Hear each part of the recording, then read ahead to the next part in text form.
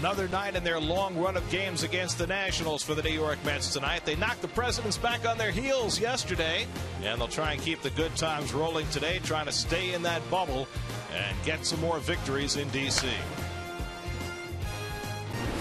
At Nationals Park in Washington, the New York Mets play the Washington Nationals. The Mets last night gained a game on Washington. They're seven behind with 49 to play. And a pleasant good evening, everybody, and welcome to D.C. Gary Cohen, Ron Darling with you tonight as the Mets play the middle game of their series against Washington. Last night, the Mets posted a 6 1 win. Tonight, they'll hand the ball off to Jon Niese, who has been struggling since a stint on the disabled list. You know, I'm more than struggling. I think that when you get a pitcher like Jonathan Niese, he'll say, listen, I'm not panicking. I'm trying to get myself back in pitching shape. Well, the mulligans are over, really, for Jonathan Niese. 0 3. They need him to be a leader on this pitching staff. If they're going to make a run, they're going to have a chance to win a lot of games, go 15 and 5 or 10 and 5 or anything. They're going to need him to be the leader of the pitching staff. He has not been that so far, and he's going to have to start now. In the otherwise very powerful Washington rotation, Doug Fister fills an interesting niche. He's the one sinker ball pitcher, the guy who doesn't throw hard. You know, he was 12 and 30 when he was at Seattle, which was a bad team, and ever since he's left there, he's got 42 wins. He's a guy that has, you know, he's 6'8. He's got the great angle on the ball. He's a strike thrower, doesn't walk anyone, and great competitive juices. It's going to be fun to watch him tonight. So it's Niese against Fister on the mound. Niese hoping to get as much defensive help as Zach Wheeler did last night. Wheeler settled down nicely, but he wouldn't have been victorious without some great defense. Yeah, Zach really needed it. This it was early against Jose Lobaton and late coming in. The wind knocked out of him. He's been like that all season long. Eric Campbell a guy that you never thought infielder turned outfielder would come up with this big throw. Great tag by d'Arnaud. And the double plays were key. Two of them were turned by the Mets last night. Double plays have been hard to come by for the Mets this season. Turning those two really was the difference for Wheeler and the Mets last night. So Wheeler's good fortune continues. The Mets hoping for the same in Washington tonight. All the action coming your way on SNY.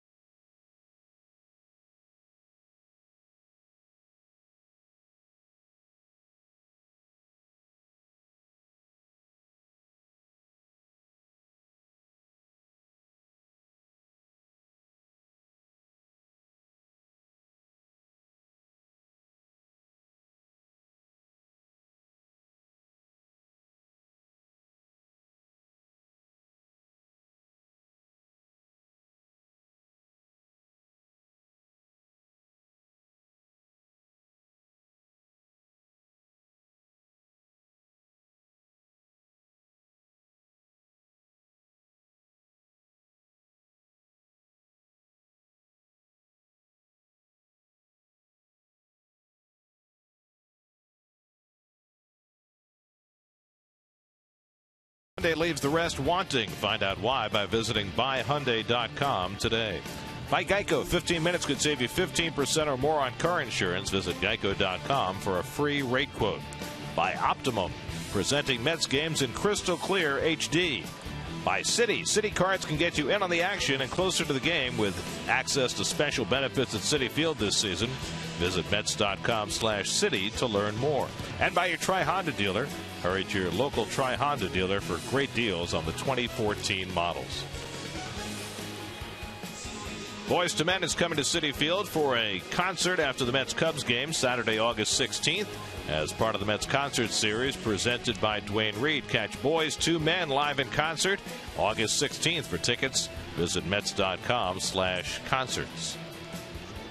Mets upcoming schedule brought to you by Honda. Mets in the midst of a long stretch against the Nats. Another game tomorrow, three more at Citi Field next week, four games in Philadelphia in between. Mets then have the Cubs come in for four games after the Nats are at Citi Field. That's what's coming up tonight. Mets trying to make it two straight in D.C. in the shadow of the Capitol. First pitch is coming up from Nationals Park.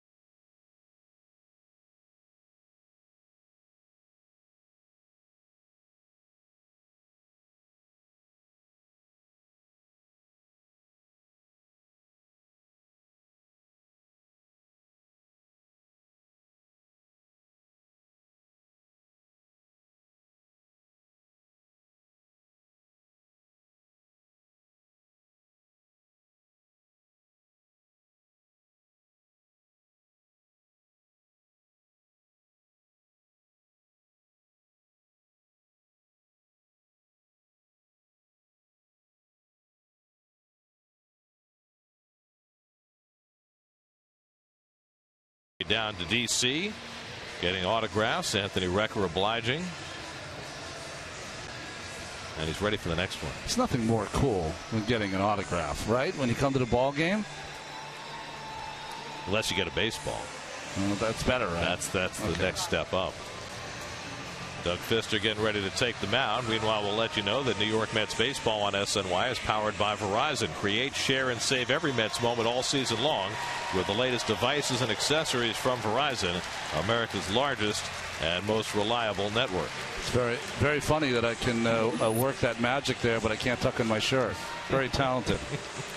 I think you were just styling. Uh, bad style. You're Geico's right. starting lineup for the Mets tonight. Kirk Nieuwenhuis gets a start. Just came back from Vegas yesterday. Had a pinch hit RBI single in last night's game, and he gets the start in left field. Curtis Granderson, after a night off, back in the lineup in right field. as the Mets will face Doug Fister for only the second time ever.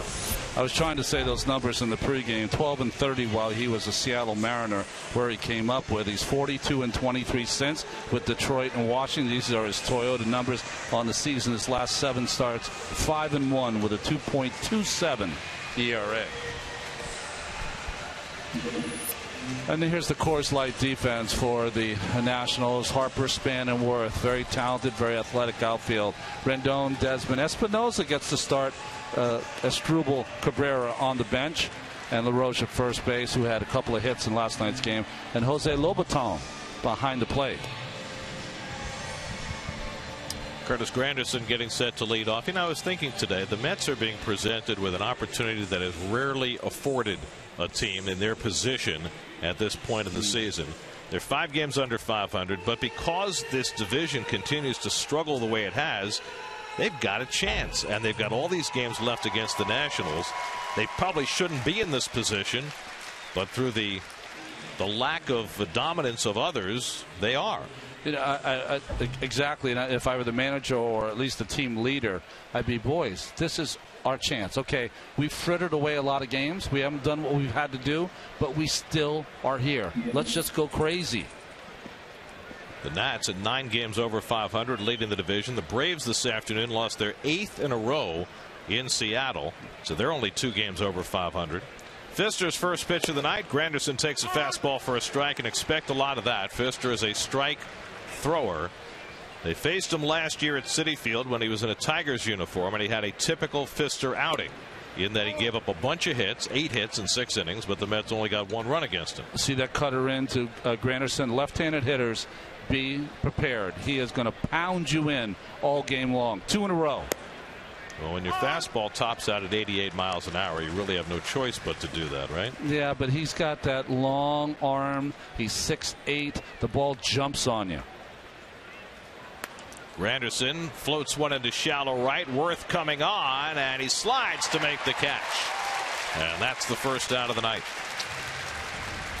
No one has perfected the slide on the routine catch more than Jayson Werth. And I'm only kidding. He's such a good outfielder, and I know what some outfielders feel. That almost braces them, makes it a little easier to make that catch. He had one fall in front of him on a sliding attempt last night on a base hit by Zach Wheeler. This time Werth able to make the connection. Well, here's Daniel Murphy, with three hits last night raised his batting average to 300 on the year. Murph ninth in the National League in batting, leading the league in hits with 137.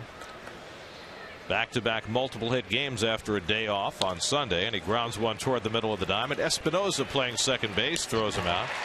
Espinosa a better defender than Asdrubal Cabrera, who played there last night. Better defender. Espinosa is fun to watch. If he could somehow make more contact. He'd be an everyday player with every team in baseball. That's the kind of talent this young man has. And originally a shortstop in college, moved to second, but you can see that shortstop arm. So two quick outs and nobody on, and now David Wright. David one for five last night, drove in the first Met run. David's had a hit in each of the last four games, but still not looking like you expect David Wright to look right on that back line. And Fister pours one in for a strike. When the Mets faced Fister last year, David was hurt with a hamstring injury, so this is his first time facing him in the regular season. And quickly, Fister ahead 0 2. Now, David has continued to hit the lefties since the All Star break, but has not had any success against the right handers. There are his overall numbers, and since the break, even worse, hitting just 132 against right-handers. Everyone has a book on the umpires. Mets have a book on Larry Vanover. Be ready to hit. He calls strikes early and often. And it's on the outside corner. David caught looking. Out of your mouth. And into the into the record books.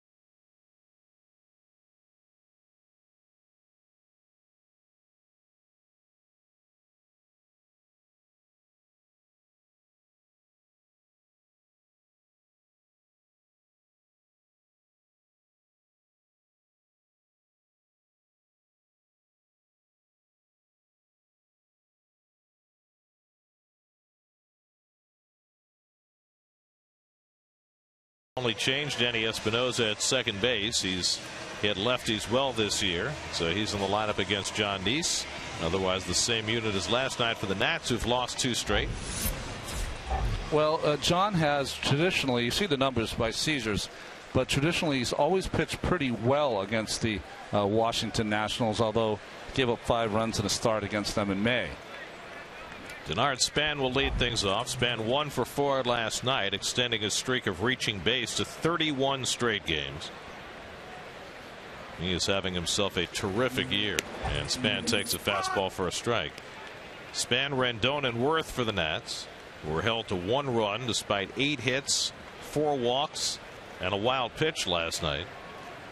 So they were not able to make much of plenty of opportunities. That's their perspective. Chopper, tough play for Murphy. And he throws out the speedy span. Nice play for Murph, one away. Speedy span. I like that alliteration. Nice play by Murph because he was in a little bit instead of deep and read that off the bat extremely well and made a difficult play look easy and got some mustard on the throw. By the way, Murph had maybe the line of the year post game yesterday. He was talking about the ball that he hit that went under Asdrubal Cabrera's glove that looked off the bat like a double play and turned into a two run hit.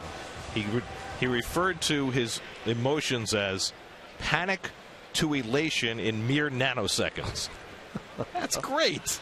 I, uh, Murph, just let me know. I'll, I'll, retire, and you come straight up here. He's going to take one of our jobs one of these days. Anthony Rendon, a number two batter in the order. Rendon one for four last night, hitting 280 on the year, having a fine first full year in the major leagues. Off speed, hit deep to right center. Back Lagares near the wall. Leaping, can't get it. Granderson plays the carom, and Rendon into second base with a one out double. 30th double of the year for Anthony Rendon. Well, one, nice try by Lagares. He knew that it was futile at some point because he couldn't get there. He just braced himself for to banging up against that fence. But the thing about Rendon is that and a, in an age where everyone is such a mechanical hitter, he is just the hands-eye coordination kind of see the ball, hit the ball. It's fun to watch. So Jayson Werth with a first inning RBI chance. Werth one for four last night, a double. Also got thrown out at the plate, trying to score on an Adam LaRoche base hit. One of many plays last night that the Mets were able to turn to keep the lead and eventually pull away. And Niese fires on the inside corner. Well, you're right about Larry Vanover. It doesn't take much. I mean, if I were still pitching, he would be my friend, my good friend. Swing the bats, boys. And Werth does. Center field. Late break for Lagares. That's going to fall for a hit. Rendon read it well, and he will score the first run of the night. A blue pit for Jayson Werth brings in the game's first run, and the Nationals have a 1 0 lead. Well, very similar to the run last night that the Mets got when Zach Wheeler dumped it over the head of Cabrera. And the good part about this is not the hit. It's the read by Rendon. See how he checked that and never, ever second guessed himself. He made the read. He knew it was going to fall in. That's the reason he scored the run. So a rough beginning for John Niese. He's thrown six pitches. He's already down a run. And the Nationals, very much like the Giants in Niese's last start, being very aggressive early in the count. Last start, Niese had 13 plate appearances against him that lasted only one pitch. I mean, think about that. that is the the most one pitch plate appearances against any pitcher in the major leagues in nine years. So, what does that tell you? Well, it, it, it tells it tells me that teams around the league have decided the way to get Jonathan Niese is that you want to swing at the first three pitches because he is going to throw of the first three pitches, you're going to get one to hit. What John has to do, and we saw it there with Werth, he gets the first pitch strike, but as you get strikes and you get one in there, you've got to make the plate smaller. He continues to throw the ball on the plate. I'm not really. I'm not making my point. I'm not making my point. My my point is, you you are using the whole plate on your first pitch, but if you get a strike, then you can start throwing it to a paper cup on the outside or inside, up or down. LaRoche hits one deep to right center. Lagares back, looking up, and it's out of here. Adam LaRoche, who was in a slump when this series began, got on base four times last night, and he socks his 14th home run of the year. And the Nationals jumping all over John Niese in the opening inning. It's 3 0 Washington.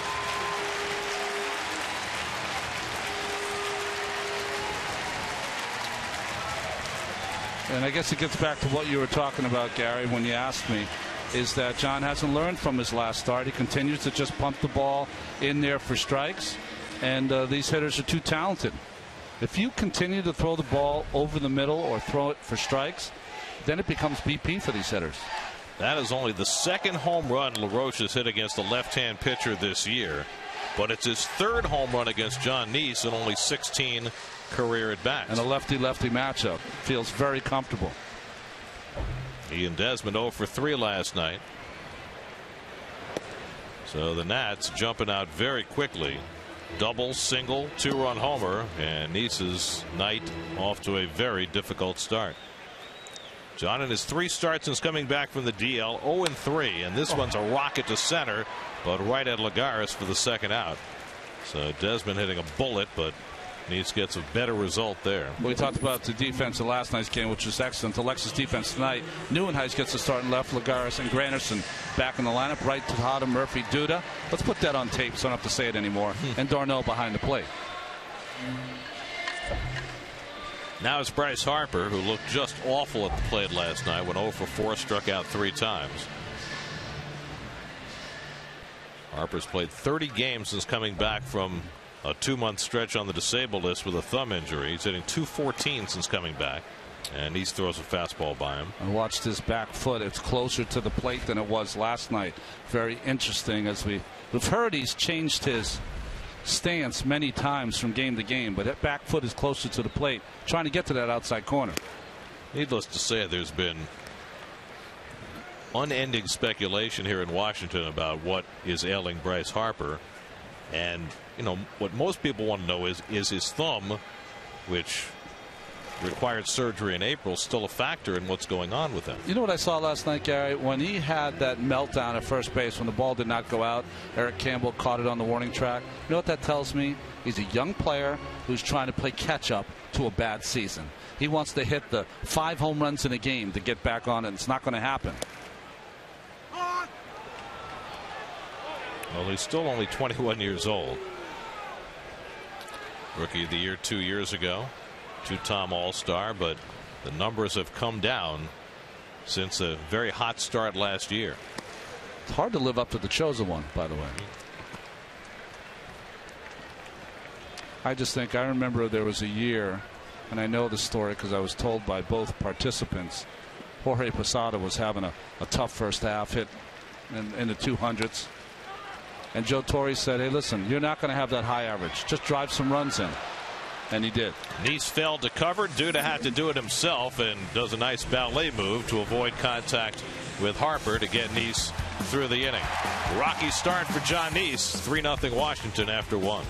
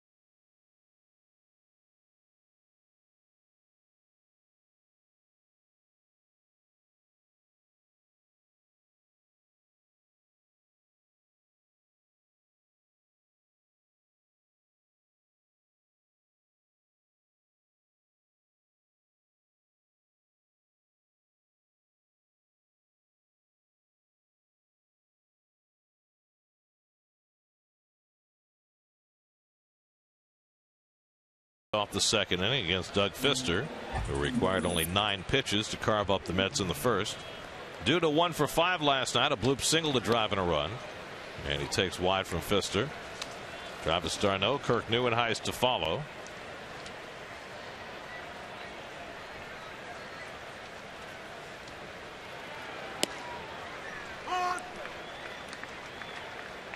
Change up in for a strike one and one.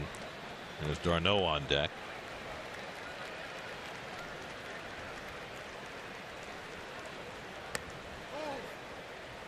Two balls and a strike to Duda. Fister's year got off to a late start this year. He had a strained lat muscle, didn't make his first start for the Nats till May the 9th, and yet he's already won 10 games. Hmm. Doesn't have enough innings to qualify for the ERA lead. As Duda rips one into center for the Mets' first hit of the night. So a leadoff single for Lucas Duda. That was nice hitting by Duda. Why? Because he waited out Fister the pitches he saw in this at bat. He gets a little changeup, and Fister doubles up on the changeup for the strike. 1 1 tries to come in, misses. That gives Duda the count. What you want to do if you're a left-handed hitter, you need Fister to be up and out over the plate. And if you if you get in that situation, more often than not, you're going to hit a BB. So the Mets have a leadoff base runner now. Travis d'Arnaud. d'Arnaud one for three with a double. Also hit by a pitch last night. And he takes a strike. Travis just two for his last 21 after a hot streak. And playing every day.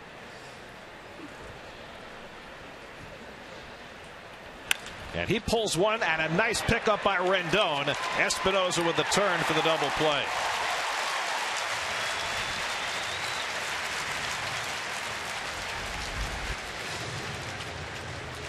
Well, just uh, another hard hit ball by d'Arnaud, but just right at Rendon. And just the wonderful turn around the horn. This is one of those. He played right in front of him, short hopped it, accurate throw, and Espinosa's got that great arm at second base. Nice try by Lucas, who tried to break it up. Got Espinosa to leave his feet, but the ball was already on its way. Got kicked in the back for his efforts.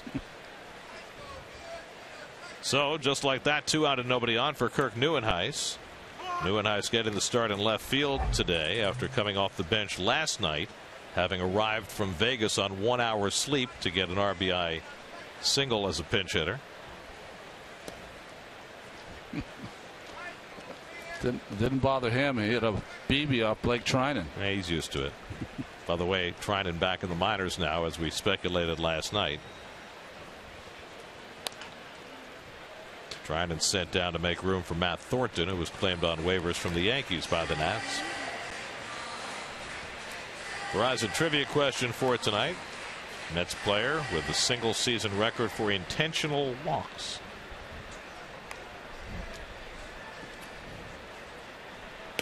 Well, I'm, I'm thinking of, of one guy, but he had a lot of good hitters around him, so maybe that is not the person.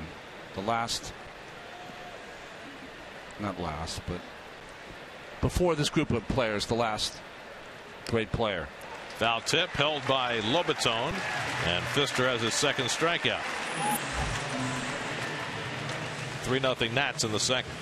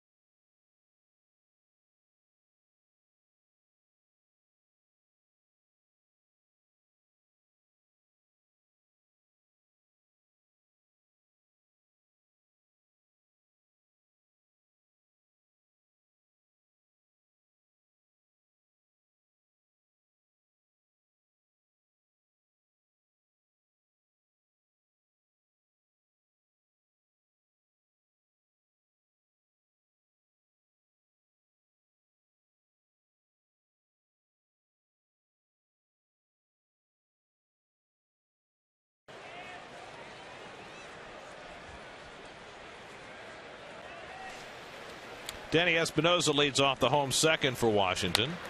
And he swings at the first Jon Niese offering and fouls it away. Espinosa has played most of the second base for the Nats this year. That was not really the plan. The plan was for Rendon to play most of the second base, but Ryan Zimmerman has been hurt on a couple of occasions. First a thumb and then a hamstring. So Espinosa making his 72nd start at second base tonight. I don't know if he can be taught to make more contact because he's a powerful young man. There's Jose Lobaton on deck. And when he makes contact, he can hit the ball as far as anyone on this Nationals team. The problem is he doesn't make enough contact because everything else he does in this game, his baseball instincts, his defense, they're all A1. Can't make contact on any of those three fastballs, and Niese has his first strikeout. Can we show that replay again? Watch this leg kick. It's almost like a, a, a, Jackie Gleason, and away we go. Watch this leg kick. Concentrate on the front foot, folks. You don't usually see this. And away we go. I mean, halfway to being a rocket. He doesn't work in the winter. We could use him. Christmas show. Jose Lobaton takes outside for ball one. Lobaton starting for the second straight night. Wilson Ramos away on paternity leave. His wife gave birth to a baby girl yesterday.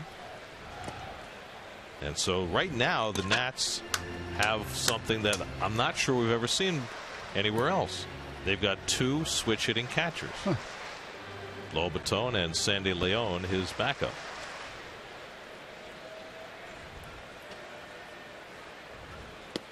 Is it me or are there less switch hitters uh, than there used to be? Definitely. Yeah. I mean, I remember one time in the early 90s when the Mets had six switch hitters in their yeah. lap. You don't, you don't see that anywhere anymore. Broken bat. Murphy runs it down nicely and throws out Lobaton two away. Murphy's made a nice play coming in and now going to his left. Follow every Mets game with MLB.com at bat on your favorite mobile phone or tablet. Get live look ins, instant replays, scores, stats, audio, free MLB.tv game of the day, and more. Download on the App Store or visit Mets.com today. Here's another thing we see more than ever before yeah. pitchers who throw one way and bat the other way. Yeah, you, you never did in those days. Fister, right hand pitcher, left hand batter and he takes a strike. Fister one for 26 at the plate. Of course, he spent all of his career in the American League before this season. I remember when David Cone first came to the Mets, they said, You're not hitting left handed. Uh, you can only hit righty. He said, Well, I can only hit lefty. Then we watched him hit, and he couldn't hit either way. Um, and he broke his thumb or broke his finger on the bunt against the San Francisco Giants. And at, Hammaker. Everyone just felt awful. But uh, David turned into a, a, better hitter, at least a contact guy. David has a line in the Mets record book. He was the first pitcher ever to get a pinch hit in Mets history. Happened oh. in Montreal back in the early 90s. That's just so wrong in so many ways. You know, like like the first no hitter is Santana. I'm fine with that. Right. I think Tom Seaver's fine with that. Maybe he's not fine with it. He probably wanted his own. But that that's something wrong with that. Tejada backs off and throws out Fister, and Niese has himself a 1 2 3 second inning. After two in D.C., 3 0 Nationals. Only playing George.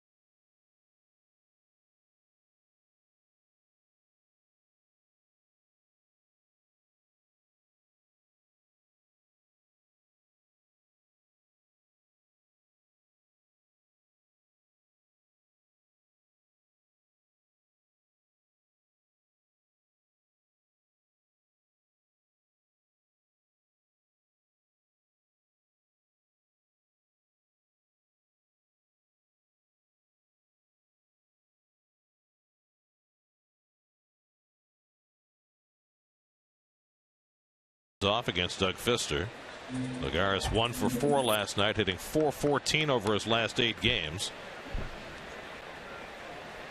It'll be Lagares, Tejada, and Niese for the Mets against Fister, who lost a heartbreaker to the Phillies his last start.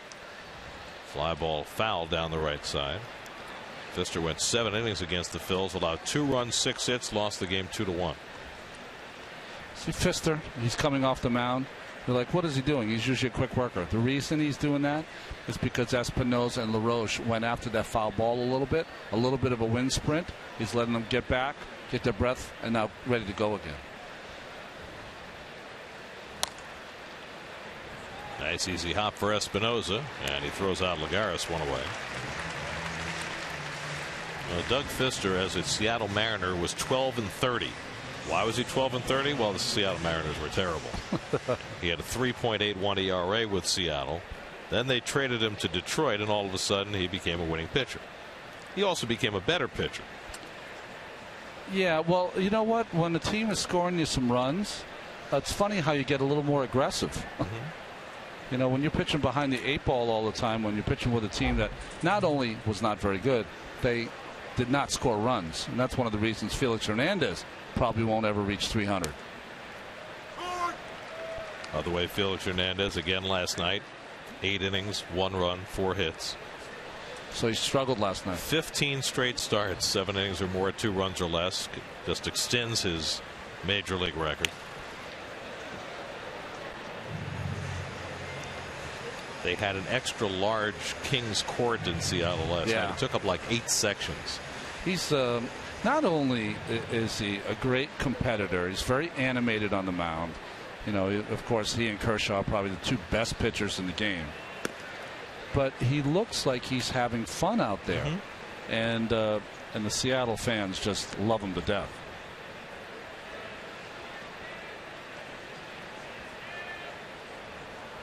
One two to Tejada, and it's low and away. Ruben one for four last night. Jon Niese on deck. So the Mets hitters have to know this. Uh, almost through the first time in the lineup. Left-handed hitters, he's going to pound in. Right-handed hitters, he's going to pound in. So I don't need the the book, uh, the videotape, or anything. If you're watching the game, you know exactly what Fister's going to do.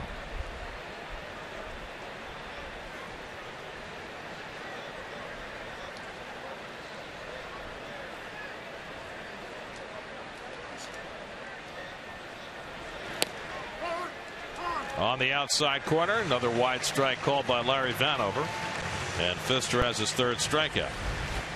Same pitch that he threw to David Wright. The thing about this pitch is he starts it on the outside corner. It comes back about an inch or two, and he's getting the call from Larry Vanover. So two out and nobody on now. Niese, who's one for 31 at the plate this year. Quite a come down after hitting over 200 last year. And he takes a strike.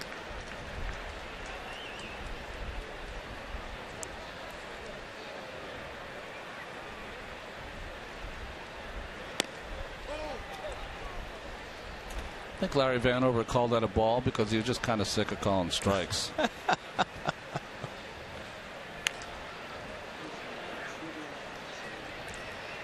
Let's answer our Verizon trivia question. Mets record for intentional walks in a season. Hojo in 88, which wasn't even one of his good years. Wow. He was an odd year guy. Was he hitting eighth a lot in 88? He might have been. He might have been hitting eighth in that Probably lineup. So yeah. So it's a lot like Ruben Tejada's yeah. intentional walks. Except there's a reason to walk Howard. Just inside and a full count to Niese. Curtis Granderson would be next. Another easy play for Espinosa, and so Fister's faced the minimum through the first three innings. Nats got him some early runs, and Fister so far making them stand up 3 0.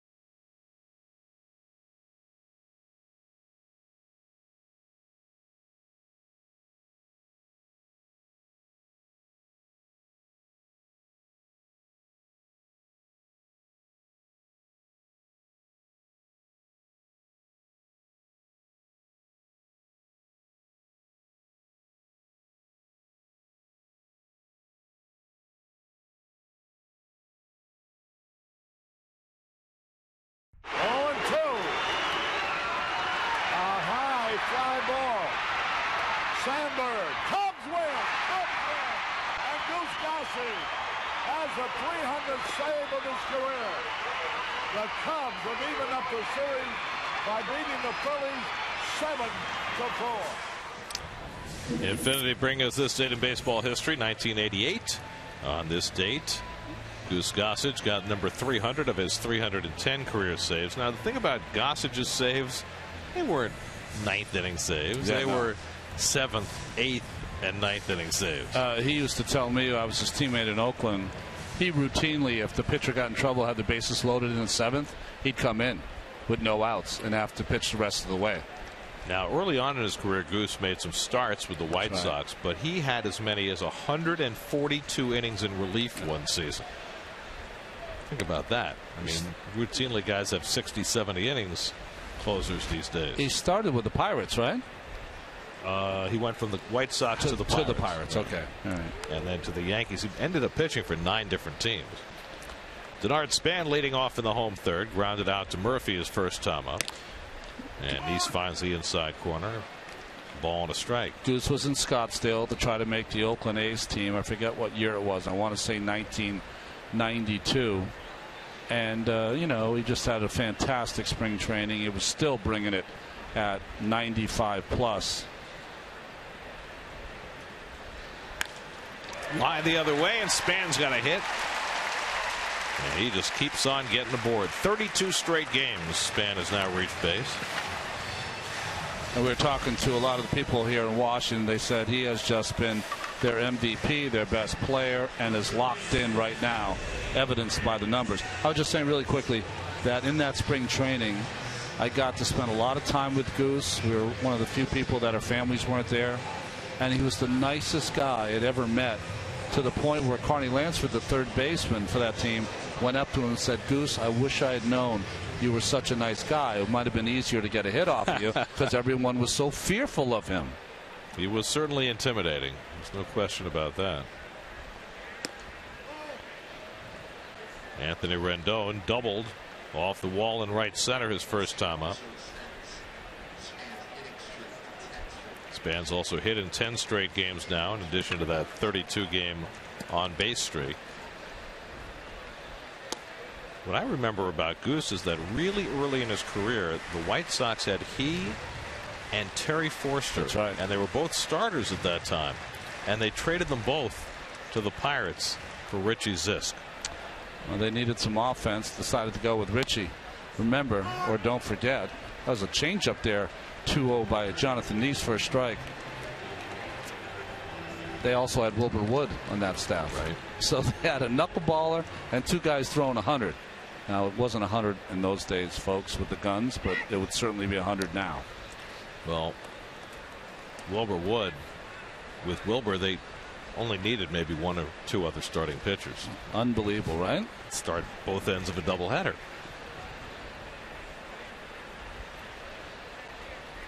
Span with 23 steals. And that just missed. Niese thought he was going to get that call from Larry Vanover, but didn't. And now it's three and one. Well, Jonathan's thrown that cutter that is usually swung at, and it's just inside. He's missing maybe by two inches where Fister is two inches to the good.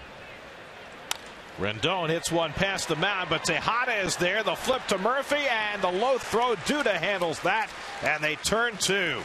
Nicely done by Tejada, Murphy, and Duda. Well, Matt Williams had a chance, especially with Rendon up, to maybe run Span there. He decides not to, and the Mets turn the easy double play. I mean, Tejada, I don't know what else to say. I don't think we talk about his defense enough, but certainly uh, as good a defense he's ever played in a Mets uniform the past three months. Solid. Absolutely solid. So two out and nobody on. Now Jayson Werth, who had a pop fly single that drove in a run in the first. Now it's got all three runs against Niese in that first inning. Rendon doubled off the fence. Worth blooped a single for one run, and Adam LaRoche cranked one off the facing of the upper deck for two more. And Jon misses with a changeup and falls behind two and out.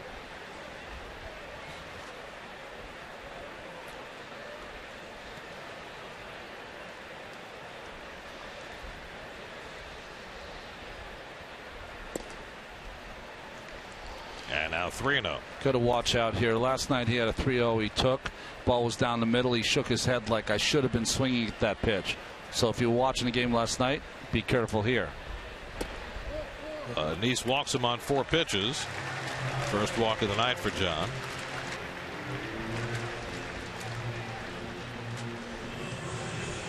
They play I walk the line here when someone gets a bases on ball. Johnny Cash version.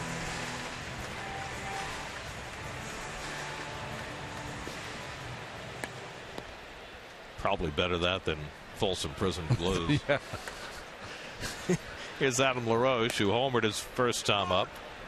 Only his second home run against the lefty this year, but his third in 16 at bats against Niese, so he's had Niese's number. LaRoche had been in a slump before this series began, but he's been on base now five straight times in the two games against the Mets. Walk the line, Folsom City, Folsom Prison Blues. They have a Souza. That's the closest to a boy named boy, Sue. Boy named Souza. I was I was thinking he would be more in line for uh, you know some marching music. John Phillips.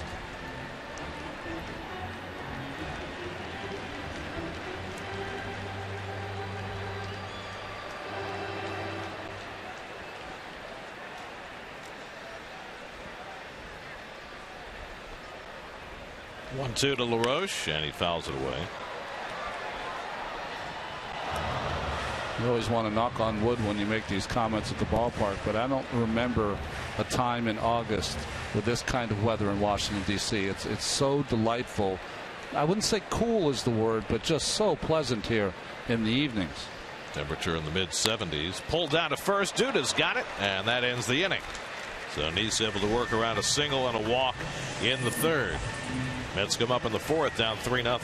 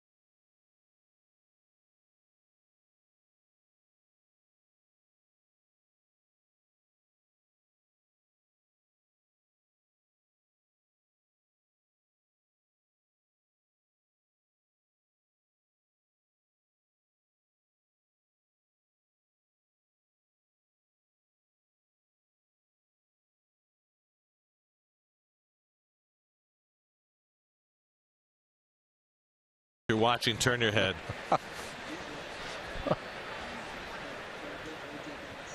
Keith has made it quite clear cotton candy is not at the top of his uh, snack list. But I know he's watching tonight. He texted us because I said maybe Hojo was batting eighth.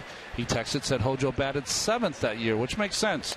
Elster was probably batting eighth. Right off the end of the bat, Granderson with the nubber to Rendon for the first out. And Keith, if Elster wasn't batting eighth, don't text him again. I don't want to be wrong twice. well, that makes perfect sense. Yeah, it was, right.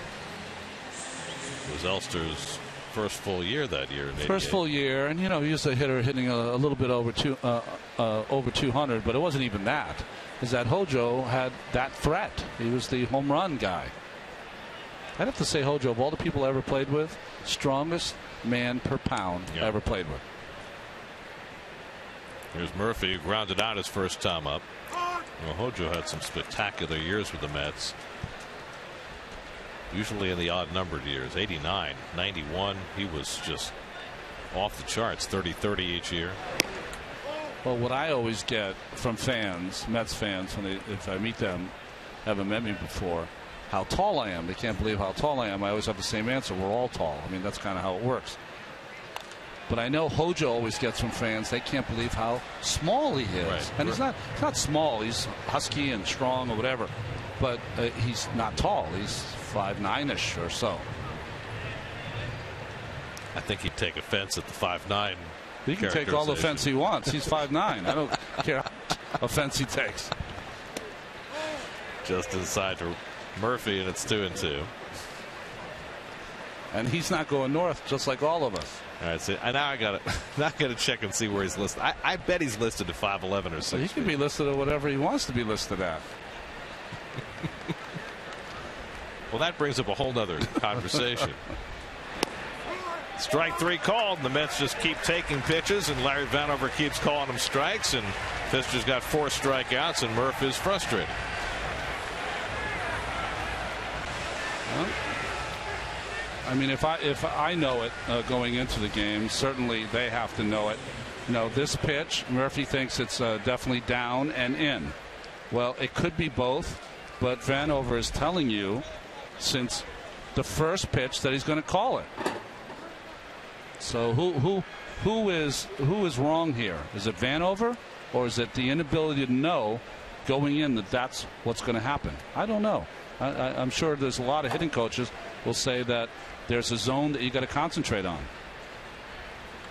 Here's David Wright with two out, but that changes with two strikes. I, I would agree, but uh, I, I, don't think that uh, some hitters believe that. They feel as though I have an unbelievable eye at the plate, and if I don't think it's a strike, it's not a strike. Well, the other piece of that, of course, is that the umpires are much more closely evaluated for their ball and strike calls than they ever have been before. They've got the sophisticated equipment in every ballpark where they can grade the umpires. A little pop fly behind first, and that's going to fall for a base hit for Wright. Takes a turn and holds on at first base. No chance, no sense taking a chance down by three runs. So David has a hit in five straight games, and a lot of them have looked kind of like this. Well, it's a hanging breaking ball, and and, uh, David, I don't know how quite to describe that hit. He just uh, kind of had an upper swing and didn't catch it right and dumps it into right field. But, Sand wedge? Well, you know, every hitter will take it. There's a lot of line drives that are caught. So, what I was going to say is, you know, umpires have always had variances. There's always been a, a, book on umpires because, you know, they all call the strike zone somewhat differently. But wouldn't you think that if you have an outlier, which is what Vanover appears to be, that he would be catching heat from his superiors if he calls strikes that aren't really strikes? Uh, absolutely. You know, he, he he has uh, his report card that he gets. So, um, you know, obviously, well, who knows? But the, the, thing is, is that anyone can get a report card. I don't know what happens if you get a bad report card. You know, do you change? Uh, doesn't look like you lose your job. Well, that I guess that's the question. Yeah. Is there any downside to getting a bad report card? It's a good curveball by Fister, and it's 0-2 to Duda, who had a hard single to center his first time up. Um, just check baseball reference. Yes. 5'11. Hojo. 5'11, 178, according to uh, baseball reference. Just saying. I wish we had had this conversation before we went to Seattle.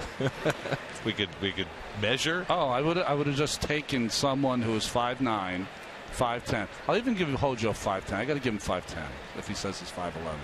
But there's no way he's 5'11". Well, I, you know I love you. Well, my question is, who decides how a player gets listed? Do they actually measure him, or does the player say, "I'm 6'4", that's what I want to be listed"? Exactly. What you do is that uh, in in spring or one of your first springs, they'll say, "Hey, what are you anyways?" I'm 6'3", 195. Okay, that stays with you forever. Forever. You see any card that I'm in, when I first came to the major leagues, probably was 185 pounds. Duda finds a hole for his second hit of the night. Wright will pull on its second, so back to back two out hits for Wright and Duda, and that'll get d'Arnaud to the plate as the tying run. Boy, it's just so fun to watch Duda emerge uh, in this last month and a, a little bit. Takes a fastball first strike, 0 2. And Fister with a bad pitch up, but then tries to go away with a slow curveball. That's what he swung through. So even within an at bat, he's making an adjustment. Fun to watch. So here's d'Arnaud who hit the ball hard his first time up, but a bullet one hopper that Rendon turned into a 5 4 3 double play. That's now with three hits against Fister. And the first pitch changeup is down, ball one. So I was saying when I started, I was 6'3, about 185. When I finished with Oakland, I was 6'4, probably 230 at that point. I've always been 6'4", 195 in the card. Always. Any card you pick up, it's 6'4", 6'3", 195. So what you're saying is that baseball is no different from basketball. Everybody lies. Everybody lies, but it really helps you in basketball. Because, you know, if you're a 6'2 guy, I mean, what does it matter if Hojo's 5'9 or 5'11? He smokes the ball out of the park. But you could make some money if, if you know, if I'm a six-two guard, but I'm a 6'4 and a half guard, people are going to think differently of you, aren't they? It's a good question. I mean, Wes Unseld was always listed at 6'8. He was really 6'5. Is there a difference between 6'11 and 7 feet half inch? I don't know. Most people can't reach that high. Two and one to d'Arnaud. I mean, really, once you get to that rarefied air, how many people can check? That's right. But 5'9", 5'11", I can I can figure that out. I'm 5'11". I'm going to text Hojo tonight. I'm going to tell him I got on him, and uh, I want him to tell me the truth. See, now he might be 5'9 now. Seattle's playing well right now. He might feel 5'11. And now d'Arnaud is fussing with Vanover. I don't know if it was da- uh, d'Arnaud as much as the bench. In fact, d'Arnaud got between Vanover and the bench to try to dissuade some of the back and forth. He was uh, uh, the great mediator right well, there. He's got to get calls for his guy. Two on, two out, two and two to d'Arnaud. And he hits one past Fister, but there's Espinosa to make the play to retire the side. Mets get two hits and leave two. Still 3 0 Washington in the fourth.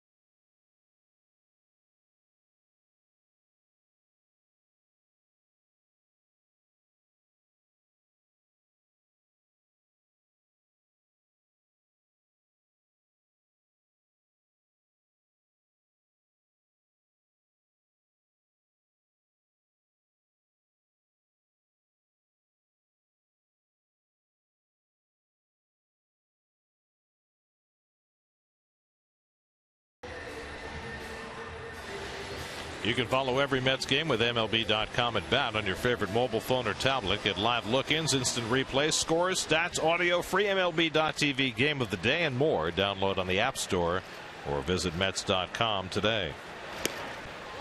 Ian Desmond hit a bullet to center field that Lagares caught his first time up. Desmond leading off in the bottom of the fourth. Harper and Espinosa to follow against Jon Niese, who gave up three first inning runs. And he misses with a changeup and falls behind Desmond 2 0.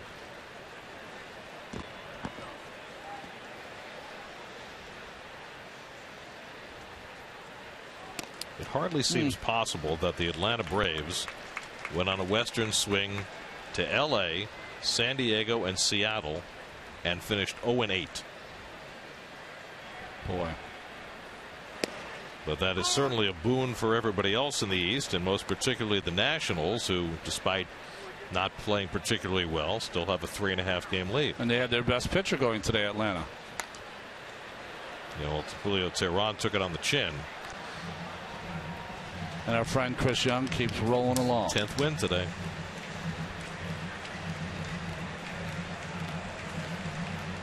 Good for him and the fact that he's been able to stay healthy all year the most important thing for Chris Young.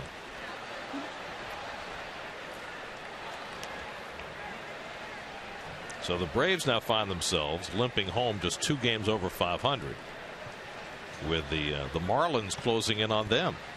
Only two games behind for second place. Lined into right. Granderson coming on sliding and he makes the catch. Nice play Curtis Granderson Desmond with two bullets to the outfield, and he's 0 for 2. Well, we get a great view of that from where we're perched here in the booth. Saw Curtis make that decision, make a quick reaction, and then make a real tough play look pretty easy. That's a big out for a pitcher.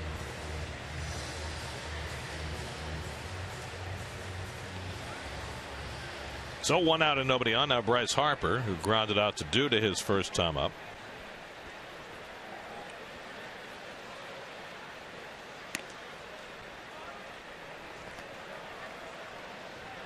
Matt Williams went on his weekly radio show today mm. and was asked whether the Nats would consider sending Bryce Harper to the minor leagues to try and get himself right. And I, I guess that Matt did not say no strongly enough.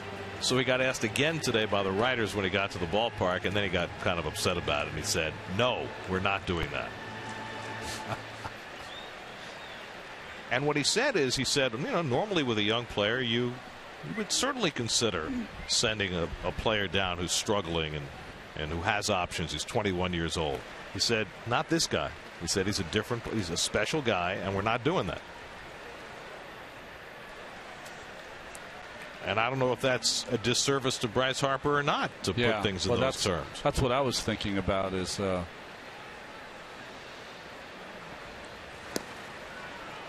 I mean, he looks lost right now.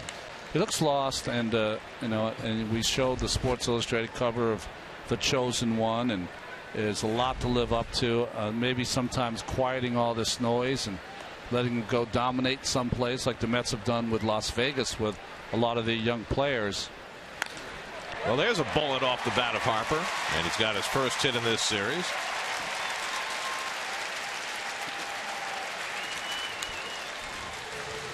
Well, uh, the one thing about Harper, he didn't miss the mistake there. What are you going to try to do after last night? Just try to pitch him away. Can't reach the ball out there. He's late on the fastball. Jonathan, though, is missing with his control a little. That's the perfect place. Tries to repeat it, doesn't happen. Right down the middle. So if you make your pitch in that outside quadrant, mm. low ish, you can't touch it. That ball was right down the middle.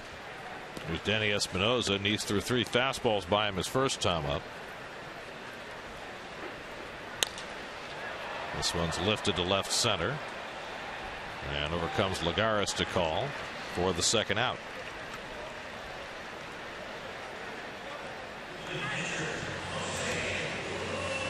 So two away. Harper still at first, and now Jose Lobaton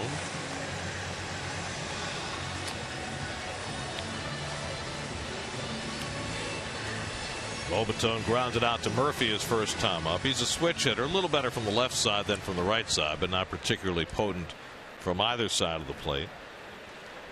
Did have two hits last night, though. One of them a, a gift when Asdrubal Cabrera got hit by the ground ball that cost the Nationals a run, and by rule, Lobaton had to be awarded a hit. I do have to say, the Lobaton's hit the ball pretty hard in these two games. Uh, with not a lot to show for it other than the uh, the carom off Cabrera. Change up lifted to center, and Lagares is right there waiting for it. And that retires the side. A hit and one left after four, 3 0 Washington.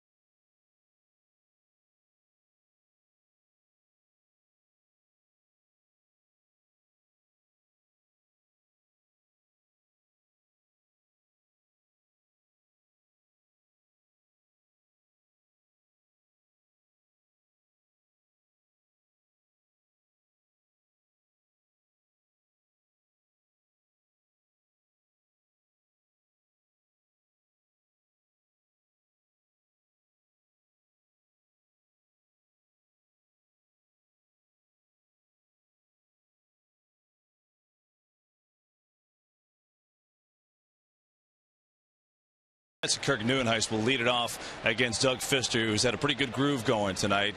A guy who certainly had trouble last night, but did his job, Zack Wheeler. And, you know, we've done in the past, we've taken him as pitcher in the middle of the year and kind of followed them throughout the week to kind of see what their routine is, not only physically, but mentally throughout the week from start to start. We're going to do that with Zack Wheeler this week. Good time to do it after yesterday. Such a strange start, right? Clearly didn't have his best stuff, but he found a way to get through it and only allowed one run, which was really, really impressive. And so I spoke to Zack today, the day after, and you know, he said, you know, last night I'm sitting there in my bed at night and I'm thinking, you know, um, what I want to do better. And he said, I think for me, it's really recognizing my body and what my body is telling me. There's an easy tapper and Fister over to cover. Nieuwenhuis retired for the first out.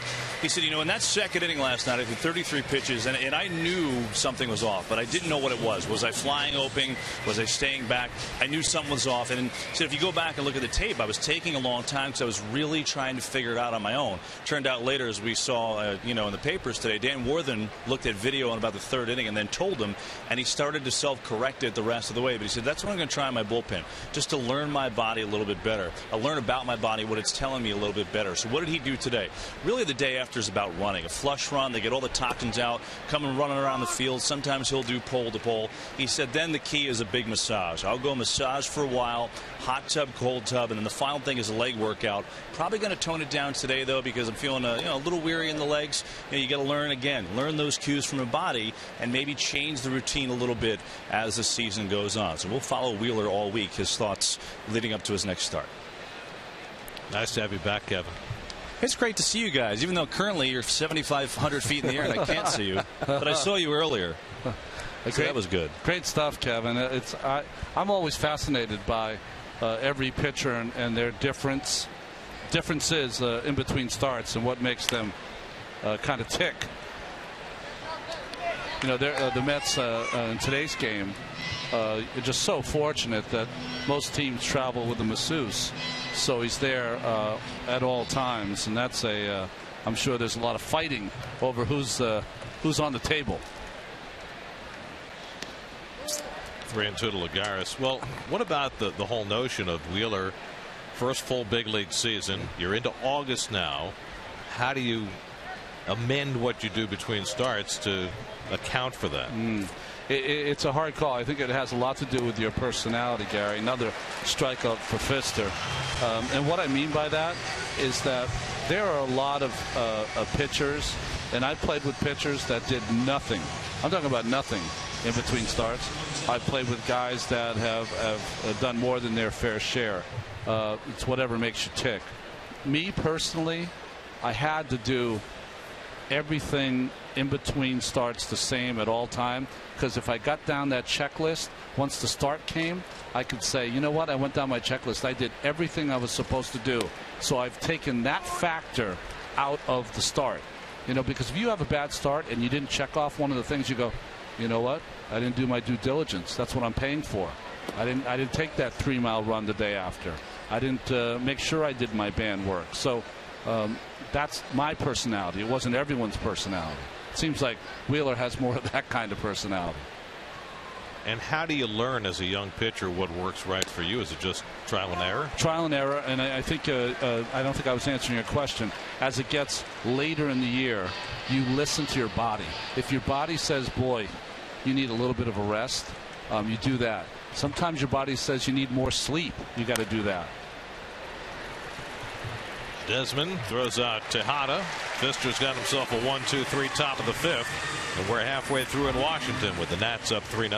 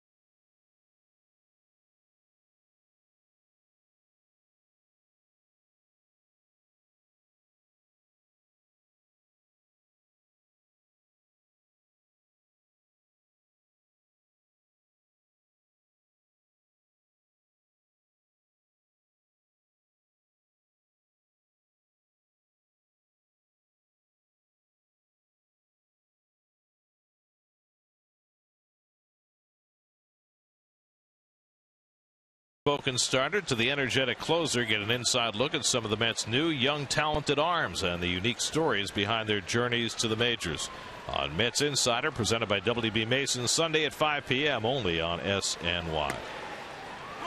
Doug Fister leads off against Jon Niese in the fifth inning. Fister grounded out to short his first time up. That's got him three runs to work with in the first inning and he has run with that.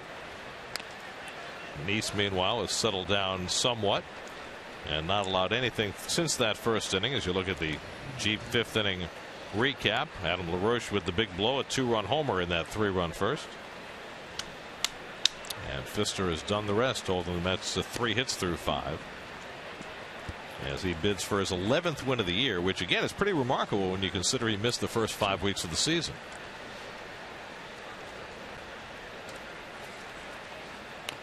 I mean weren't you interested in the winner when the Nationals traded for Fister, didn't you think, what a great trade that is? I mean, how did they get Fister from the Detroit Tigers? Well, it's still an open question. How did they get him? It's not as though they gave up, you know, substantial prospects. They gave up three players. Um, Ian Krol, who we saw a little bit pitch out of the bullpen last year, left-hander, right? Um, uh, Steve Lombardozzi, who is a, a, nice backup player, nothing more, and Robbie Ray, who I guess has the most potential of all of them. Yeah, he's that uh, young starter they think is going to mature into a good one. Well, I think two things happened. One, I was surprised they traded him because uh, you don't know the status of Scherzer uh, after the season. Uh, but what they thought, the Tigers, they wanted to move Smyly into the rotation. Right. And that's why they thought that Fister was expendable. David Wright running right to the railing and can't get to it. Well, it's turned out to be a great deal for the Nats because not only does it make a strong rotation even stronger, but it gives them such a different look than they have from the rest of their four starters. And if Detroit doesn't trade Fister, maybe they don't, they don't go trade for David Price. Right. Price made his debut for the Tigers last night. Ultimately successful for Detroit as Fister strikes out on the eighth pitch of the at bat. Second strikeout for Jon Niese tonight. Well, it shocked a lot of people at the time. There's right. no question about it, considering how well Fister pitched with Detroit last year 14 and 9, 3.67. And I think it was another one of those trades, Gary, for the Nationals this offseason where people went, boy, embarrassment of riches now. This even uh, ensures that the Washington Nationals are going to win 100 games this year. Well, with all the things that haven't gone right for the Nationals, Fister is one of those that has. Yes. I mean, think about it. You know, I know people tend to downplay wins and losses these days, but nobody in the National League has more than 13 wins. Mm-hmm. And here's Fister with 10, and he missed five weeks.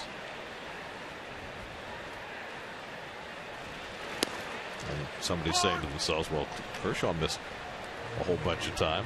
But he's on a he's on a different different level. Yeah, they're they're going to call uh, Kershaw up to the next league. They're trying to form it right now. Well, that's um, players who change teams in the offseason. Scott Kazmir has the most wins with Fister and Colon in that company as well. Denard Span had a base hit the other way his last time up, one for two on the night, and he's Gets that one in for a strike. Did you find it interesting? Kershaw was a little testy last night when he kept being asked about Mike Trout. What do you think about Mike Trout? He goes, um, the Angels are a very good club. Mike Trout's a very good player. I'm not going to talk into talk about Mike Trout and Clayton Kershaw. I faced the Angels, not Mike Trout. I thought it was uh, it was it revealed something in Kershaw's personality that he doesn't want to get into this game of uh, uh, stars against stars. He's a, a, team pitcher, and he didn't have his best stuff last night, but grinded out over I think seven innings or so. Dodgers pulled it out in the bottom of the ninth. Pujols hit his 513th to tie it up last night, which moved him uh, past Ernie Banks.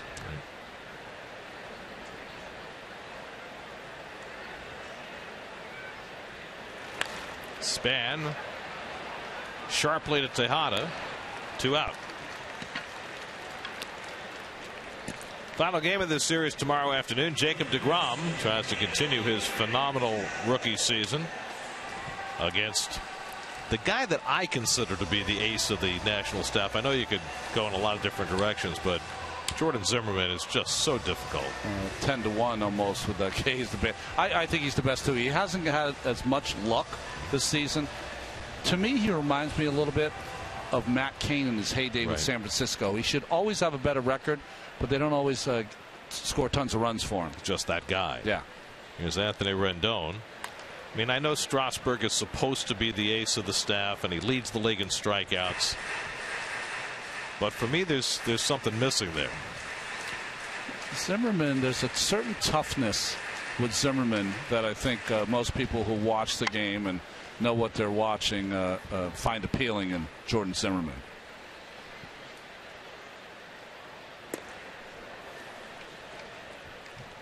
Oh, and two to Rendon, who doubled and scored in the first, grounded into a double play in the third.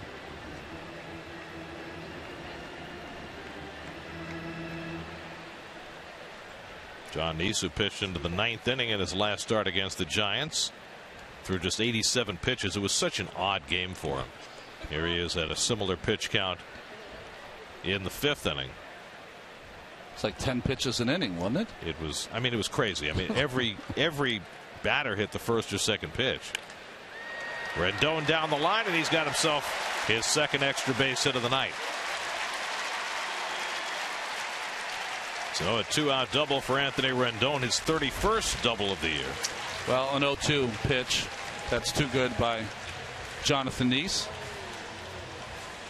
Rendon is one of those guys with two strikes. He, uh, I wouldn't say he's a more dangerous hitter, but he has a great two-strike approach. So six hits now for the Nationals. So sorry, Gary. I think one of the great things about about pitching, hitting in a game is that John, uh, Jayson Werth, his first time up, took the first pitch from Jonathan Niese. Hitters love to set you up and make you feel as though you can get that first strike in. I doubt he'll take this pitch. He'll be real aggressive against Jonathan Niese here. Looped a single to drive in Rendon his first time up, then drew a four pitch walk in the third. Werth was the National League Player of the Month for July, just as he was last year. It's funny because I was looking back at Werth's career and remember he had a career that started in fits and starts because he would hurt so much early on with the Dodgers and then he went to the Phillies where he was more of a complementary player. But it kind of stunned me when I realized that here's Jayson Werth who's 35 years old, yeah. terrific player. He's been on one All Star team. Mm. One. And you know why? Because he's a great second half player. Generally doesn't have the big first half numbers that get you on the All Star team. It's like being a, uh, a decent, a good player on the Mets in the 80s. You weren't going to the All Star game. You know, it was Gary Carter, it was Keith Hernandez, it was Dwight Gooden, and Darryl Strawberry. Uh, no one else was going to go to the All Star game. They were locks. Well, Werth suffered from that with Utley, Rollins, and Howard. Right.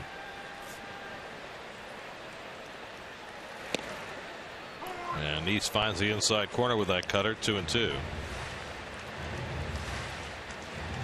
Well, I thought Werth would be aggressive.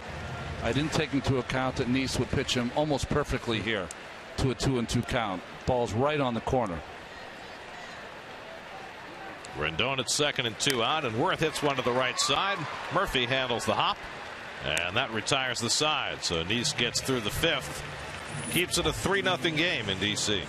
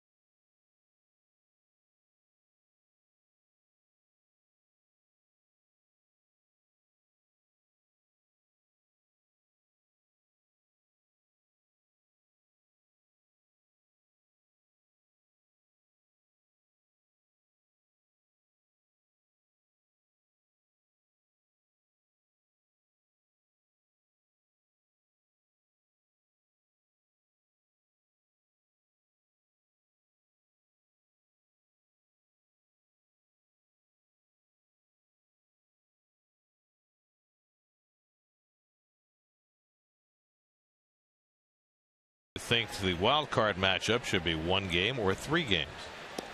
Hashtag SNY tweet. Interesting question. Interesting and personal, I think. Jon Niese leading off in the sixth inning.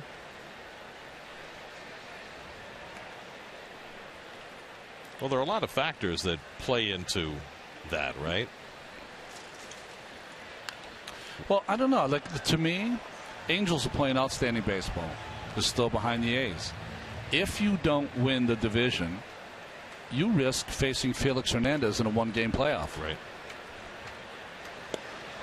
He's called out on strikes. He walked away before Larry Vanover even told him to. Six strikeouts for Fister. And I guess the question is, is it fair? Geez, everything's so fair now. Why not have stuff that isn't fair once in a while? Well, there are a lot of other factors too. I, the one thing I look at is if if you have the wild card teams playing best of three, now everybody else is sitting and waiting, yeah. and maybe getting stale before the postseason begins. As Curtis Granderson is over for 2. And the other thing is if you push back the postseason three more days to accommodate a best of three, now when's the World Series getting played? In November.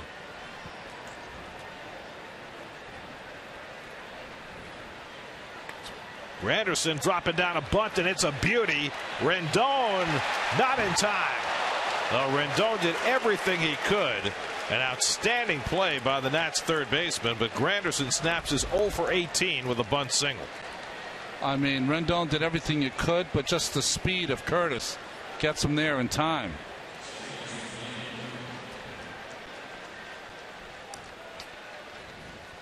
Boy, this is just so beautiful to watch in so many ways. A perfect bunt, an excellent defensive play, nice by LaRoche, and no manager coming out to dispute the call. Looked like the right call by Dan Iassogna at first. So Granderson snaps that over at 18. And the Mets try and build something off that here in the sixth. Just their fourth hit. Daniel Murphy's gone over 2, grounded out, and was called out on strikes. Fister almost impossible to run against. And he throws the curveball up and in. He has not given up a stolen base since last August. In fact, the last man to steal against Doug Fister was Eric Young in the game that Fister pitched against the Mets last August at Citi Field. Now the question is how can that tall a pitcher as Murphy drills one toward the right field line but that's foul. How can that tall a pitcher be that good at holding runners on? Well, we, we've seen the history of it uh, that they are not because it, it, takes them a while to unfurl that big body towards the plate. The difference is if you watched Fister take his last at bat, he, he's really a good athlete, tremendous athlete.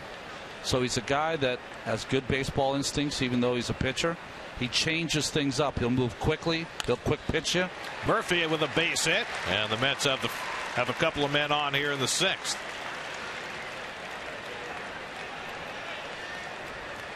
See Fister with his head down. That was really, boy, maybe the first mistake he made tonight. Just a kind of loose fastball or cutter inside to Murph, and Murph did not miss it. So the Mets get David Wright to the plate as the tying run. David blooped a single to right his last time up, one for two on the night.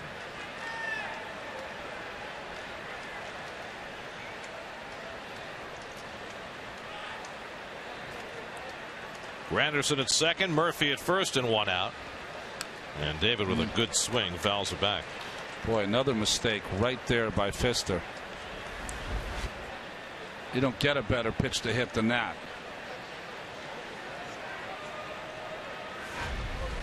It's amazing as the Mets get more aggressive, they're getting better swings, they're getting base hits. You know, this is one of those games where you have to be aggressive against a pitcher who's always around the strike zone.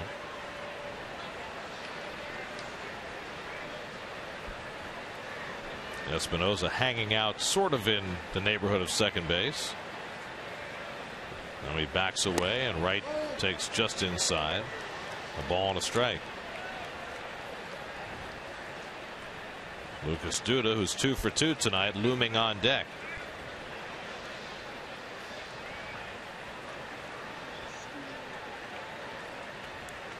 Mets have been behind 3 0 since the first, and Wright fouls it away. One and two.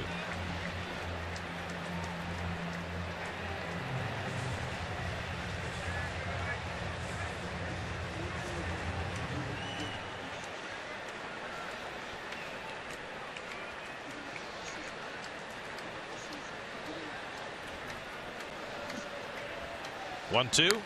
And Wright fouls away the cutter. See him tapping his leg, Fister. What does that mean? Means he's not pushing off. Very lazy to the to the batter. And three of the four pitches now have been up in the strike zone to David. Wouldn't be surprised he comes back inside with that sinking fastball. Tries to keep it down. Fister has struck out six.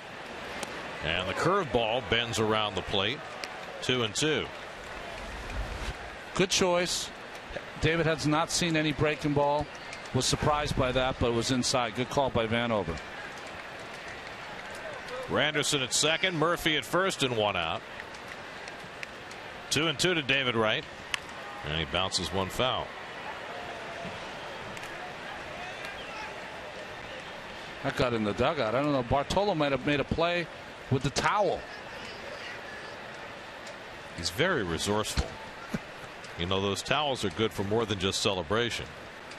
It better be.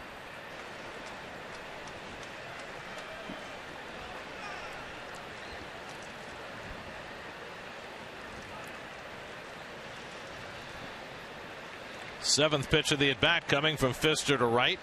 And David hits it sharply, but right at Rendon. The turn by Espinosa for the 5-4-3 double play that gets Fister through the inning. Second one they've turned around the horn tonight. And the Mets are turned aside in the sixth, still 3 0.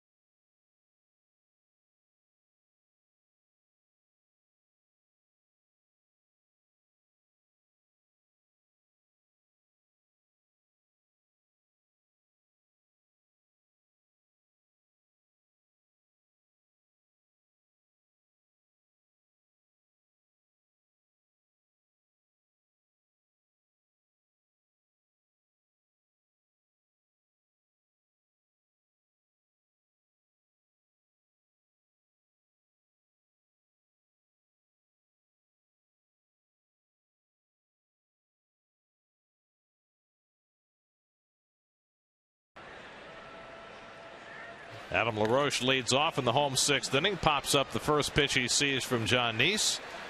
Ruben Tejada puts it away. One pitch and one out for Niese in the sixth. Let's check in with the studio. Eamon McAnaney has a game break brought to you by your local Tri Honda dealer.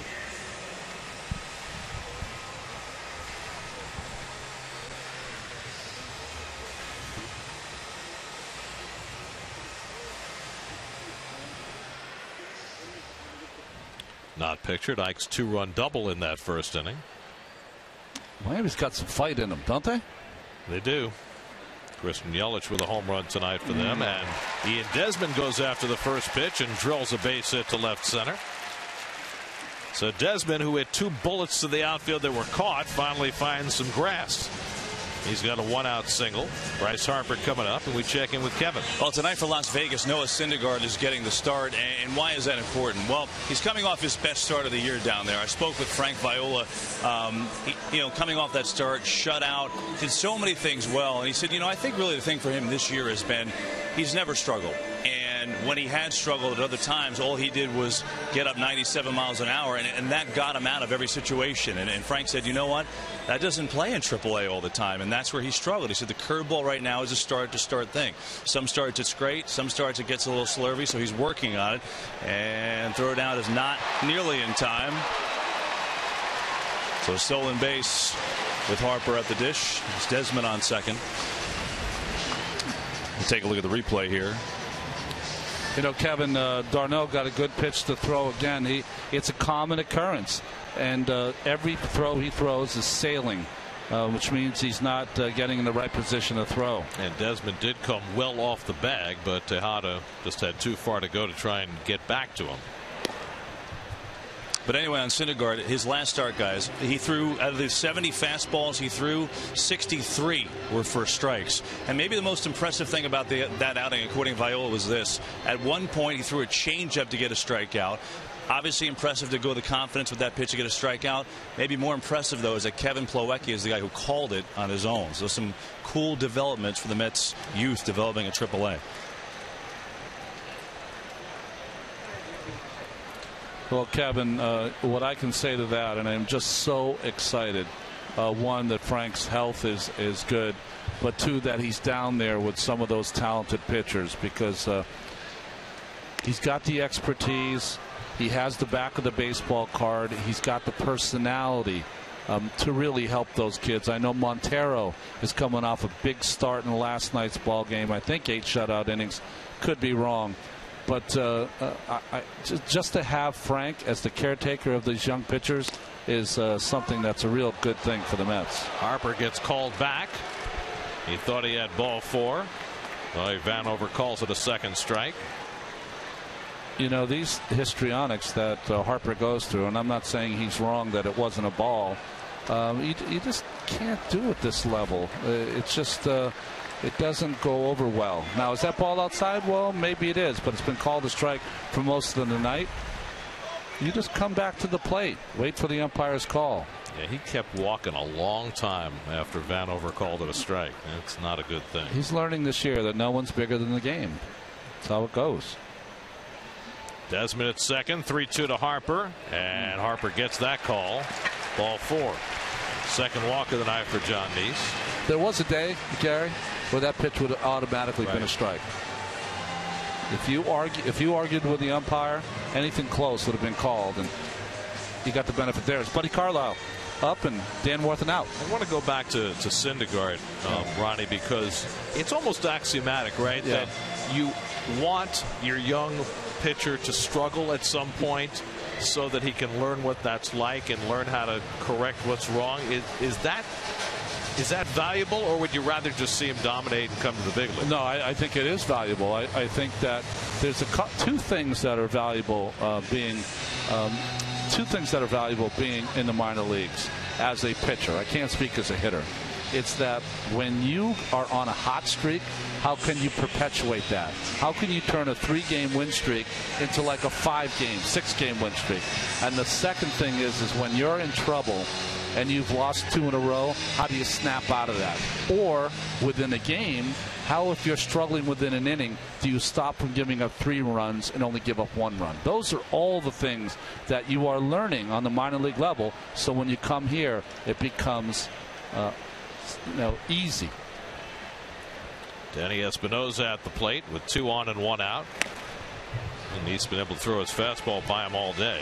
And I just want to add one quick thing in there, guys, because Ronnie, you talked about Frank Viola, and he was doing great. He's excited to be back, but he said something that I thought was so cool. He said, My first thought when I was out is, well, wait a second, who's going to take care of my guys? you know, very fatherly. It was, it was very neat.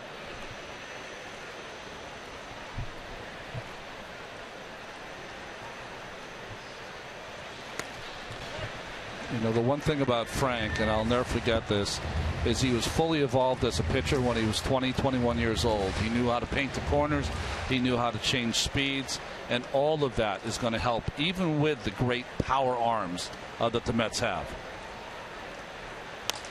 Espinosa drives one deep left field. Nieuwenhuis back, and it's out of here. Three-run homer, Danny Espinosa. The Nationals have broken it open. It's now 6 0 Washington. Seventh home run of the year for Espinosa.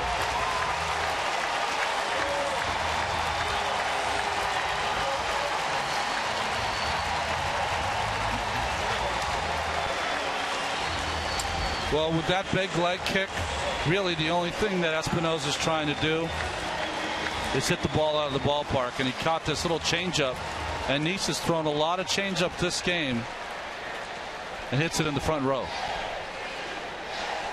This is the part I don't understand, Ronnie. Niese has thrown his fastball by Espinosa all day. Horrible choice of pitches. I, I, there's no other word to say it. Now, does that mean he doesn't throw the changeup? No, but you bounce it. Right. You have to bounce it. Lobaton hits it hard but foul. You have to read the bat, and Jonathan has enough uh, time in the major leagues is that the hitter sometimes tells you what pitch you can throw. If he's behind on the fastball, then you continue to go that way. That means that if you go to the slow pitch, which is more in his bat speed, it's got to be out of the strike zone. Now, I know the argument you'll get from Jonathan and, and from the club is that pitch was down. Uh, it wasn't a strike. Well, it wasn't down enough.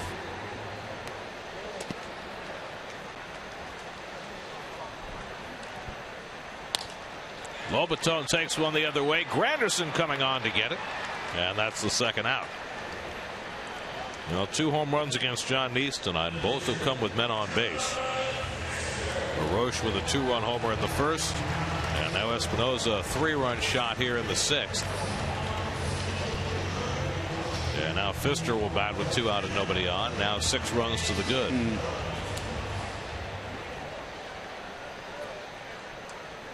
Well, Jon Niese has never lost four consecutive starts. Never in his major league career. Unless the Mets have a huge rally in them. It's going to happen to him for the first time ever. Well, I got a stat from you, Gary, earlier because I couldn't find it. 45 and 15 the Nationals are when they score first. But more importantly, when they score four more, four more runs, they're 51 and 6. Well, that's how good their pitching is. Yeah. Not just their starters, but their bullpen as well.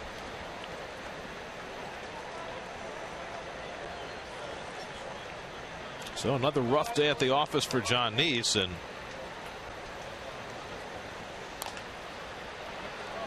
to get through this inning as Duda takes care of Fister and for the second time Niese failed to cover first base on a ground ball. 6 nothing Washington.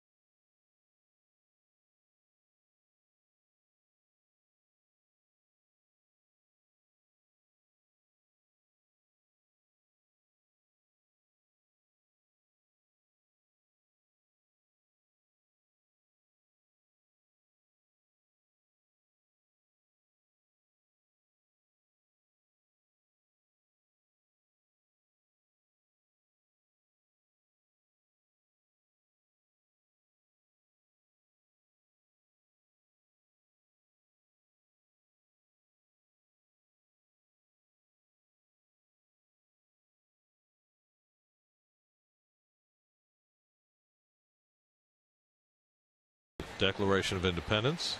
It's hiding in that little chamber there. That's the Jefferson Memorial. Renaissance man, if there ever was one. Monticello, architect. Jayson Werth has come out of the game. Steven Souza takes over in right field. Werth's been bothered by some ankle problems. Duda cues one up the third baseline. Fister's toss, and he got him. Wow. Quite a play by Fister on that little cue shot off Duda's bat. Told you he was an athlete. All six, eight of them.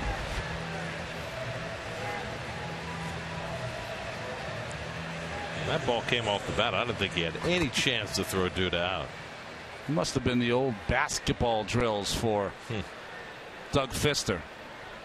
First time Duda's been retired tonight. Shuffle your feet. Don't give up the baseline. Well, Fister comes from an athletic family. You know, he played his college baseball at Fresno State. His dad played football at Fresno State a generation before.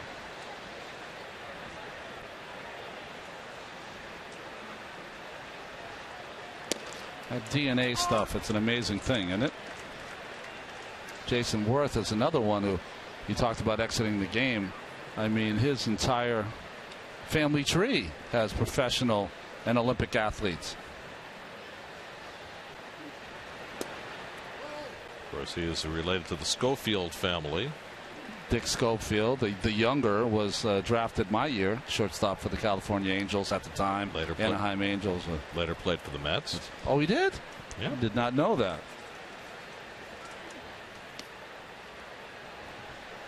That's your, your dark period. I know. I- you know, the dark period uh, as we go along was a lot longer than I thought. you know, Lennon's weekend in L.A. that really lasted about three months. That's really what my period is, just without May Pang. Deep fly ball to left. Harper back. He'll have room. And d'Arnaud retired, two out.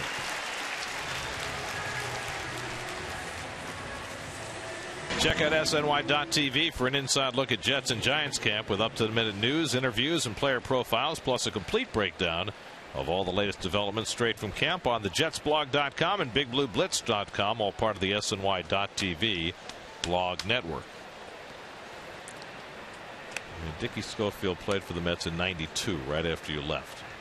He was their starting shortstop that year. Well, the dark period, folks, started for me as a Met around 90. And I know I was on the team, but it did start around 90. Right, uh, right when Julio Valera came Yeah, the up. Julio Valera period. Um, not Julio's fault, of No. course, my fault for not being better.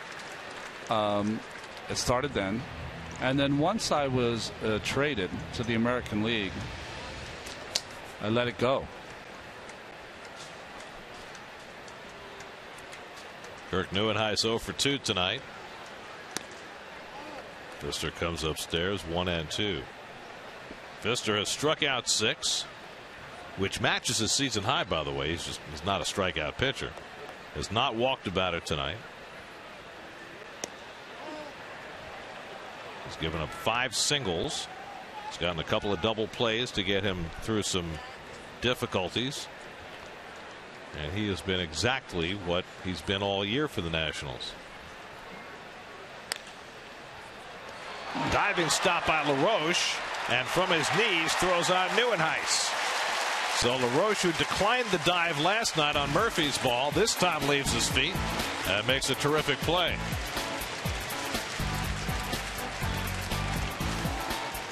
That helps Fister to a 1 2 3 7th. Stretch time, 6 0 Nats.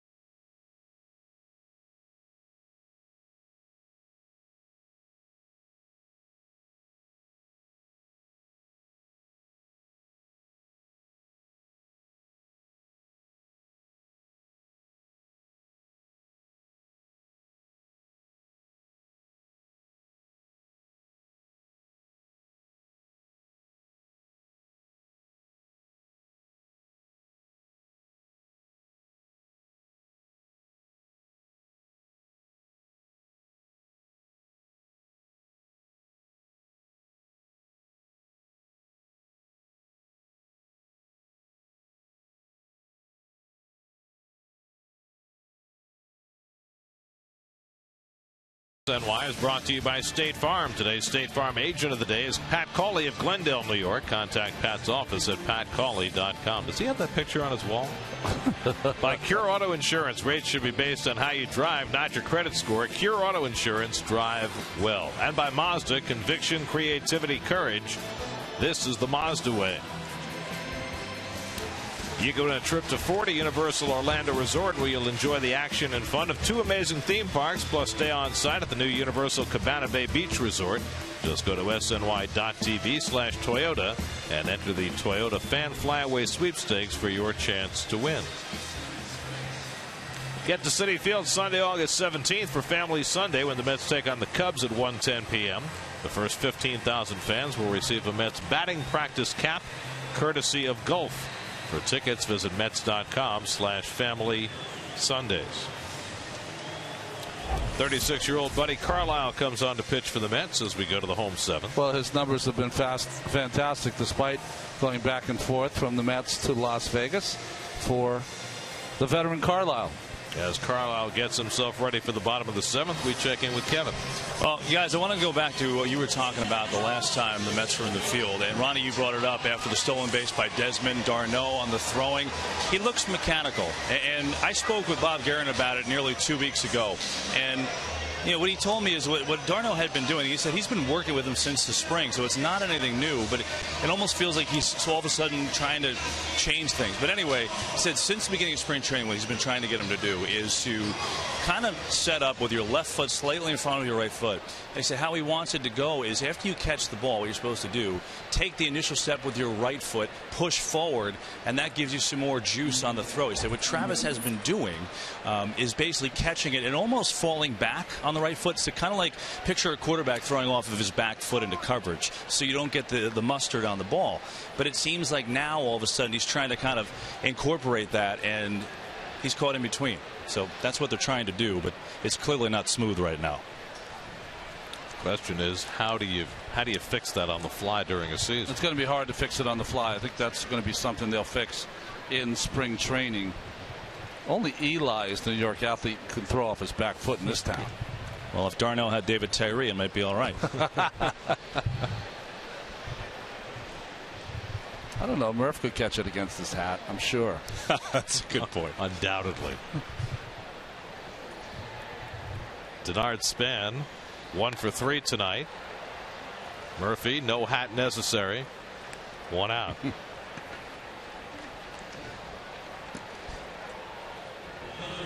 well, you see the numbers on Travis this year. Just 10 of 47 thrown out.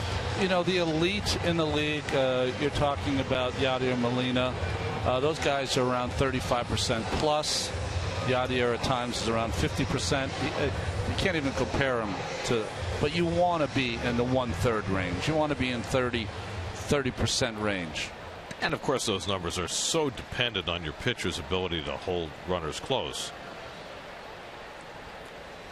Anthony Rendon, a pair of doubles tonight, one to right center and one down the left field line. You're right, Gary, but I judge it like this: is that you have to have the wherewithal as a catcher.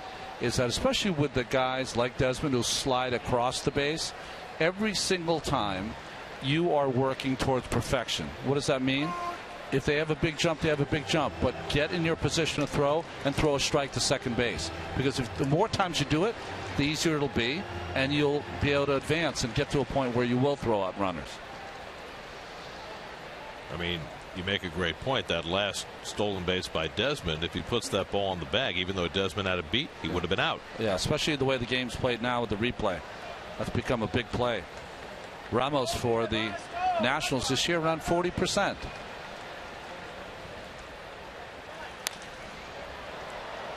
A lot of quick pitching from Buddy Carlyle, who's using all the tricks of the trade. Steven Souza, who took over for Werth in right field, is on deck. I wore that number that Carlyle has for my rookie year, 44. Hated it for the entire year. It's a slugger's number. Exactly. And I have feelings exactly. I wish you were around those times, too. I got to talk to you about it. Speaking of sluggers and the number 44, do you see who pitched for the White Sox in the ninth inning last night? Was it a donkey? It was fun to watch. Adam Dunn going to the mound with his team down 15 to nothing. we've seen that Robin Ventura has no problem putting uh, everyday players out to throw. Carlos Torres in the bullpen. Deep to right center, but Lagares has it lined up. Two out. This has been a record year for everyday players taking the mound. Well, you know why? Because managers get so aggressive using their bullpens every time they get into an extra inning game. This is what happens. I mean, it used to be you'd hold somebody back, your long guy, to be your innings guy in extra innings, who would go six, seven, eight innings if necessary. Mets did it last year with Shaun Marcum on a couple right. of occasions. Right. But nobody seems to be playing that way. That's how you ended up with a tie in the All Star game back in uh, in Milwaukee, whatever year that was. That led to- 2000, 2002, I Was think. that long ago? It was a year after Seattle, 2001. That's how we led to now it counts. Well, we've got 180 players playing now. Bring a guy off the street. But the other thing that used to happen in long extra inning games that managers seem very reluctant to do is you, you run out of relievers, you take the next day's starter, you stick him in there, let him finish the game. Oh, pitch count, Gary. Don't get on that one. And and somehow if you do that, the pitcher might break in the 18th inning. Well, then have the EMT guys just make sure that they're close. the uh, I think though with a guy like Adam Dunn, don't you think it's he's always maybe said to his manager, if there's ever a shot to get me in to pitch a game, I'd love to pitch an inning. Well, Adam Dunn was a great high school quarterback. This one's drilled down the line, hooking toward the pole, and just foul. Steven Souza came that close to his first big league home run.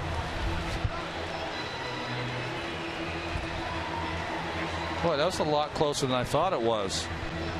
Maybe that's why Souza kept running. Souza had some monstrous numbers playing for Syracuse in AAA this year. You still have the same ballpark in Syracuse? That one with No. the uh, locker room in right field? Uh, MacArthur Stadium, Yeah. that, that's gone by the boards. Souza had 354 in AAA with 18 home runs in 91 games.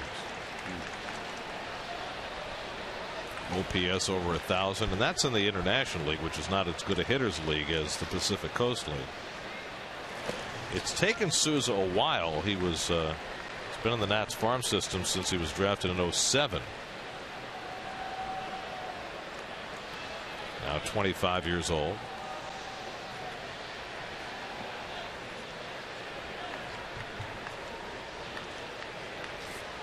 Trying to do it maybe for this team that Tyler Moore did two seasons ago. Be a guy off the bench with some pop. Plays some outfield, some first base. He's even played third base in his minor league career. And Carlyle ready to quick pitch, but Souza this time asks for time and gets it. It's amazing because hitting is so important to young players as they and age. We have tons of these guys that come up and they can play three and four positions, but they don't have a position.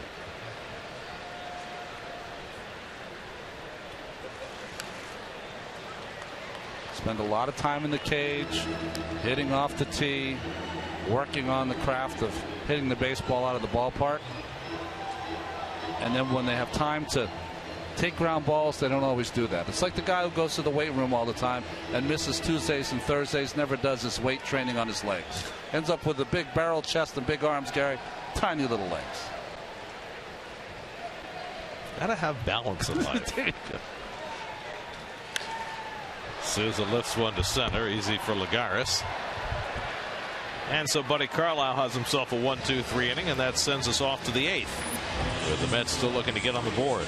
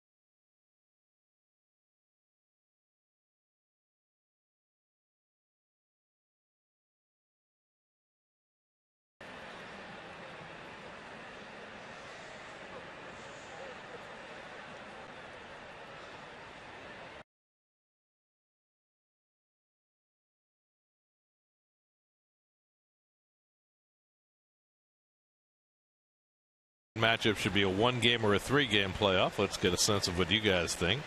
Like Ron said, Mariners. uh, Well, oh, so he says three. Okay, I missed Yeah, that. yeah, yeah, yeah. Just trying to get through that in a hurry. It looks like a, more than 140 characters. You just you, you just don't want to believe anyone that would agree with anything I have to say. No, not even slightly. Okay, so this gentleman, Dan Cohen, note the name, two ends, believes three is more fair Yes. because of the Felix factor, or the Kershaw factor, as it were. I'm conflicted because I I'm with you. I'm conflicted because the three uh, game playoff seems so much more fair, and it really gives a better indication of what team is the better team moving forward. Here's Team- another one. Teams that make the playoff, even as wild card teams, should feel like they're in the playoffs with a real series. One game, it creates excitement. It's like you're skipping to game seven right away. I like that. Hmm. I, I just uh, it- it's a hard one uh, to, to wrap your brain around. Wild card should absolutely be one game. All or nothing with teams back against the wall. You want leeway? Win the division. Love it. Oh, Little flare into right field, and Lagares has himself a leadoff hit. So the Mets have their sixth hit. Well, those are the standings in the AL West. The A's and the Angels with the two best records in the American League, but one of those two is going to be a wild card team. but that being said, this is what you're going to see with the one game playoff. You're going to see Jon Lester, Garrett Richards, Felix Hernandez.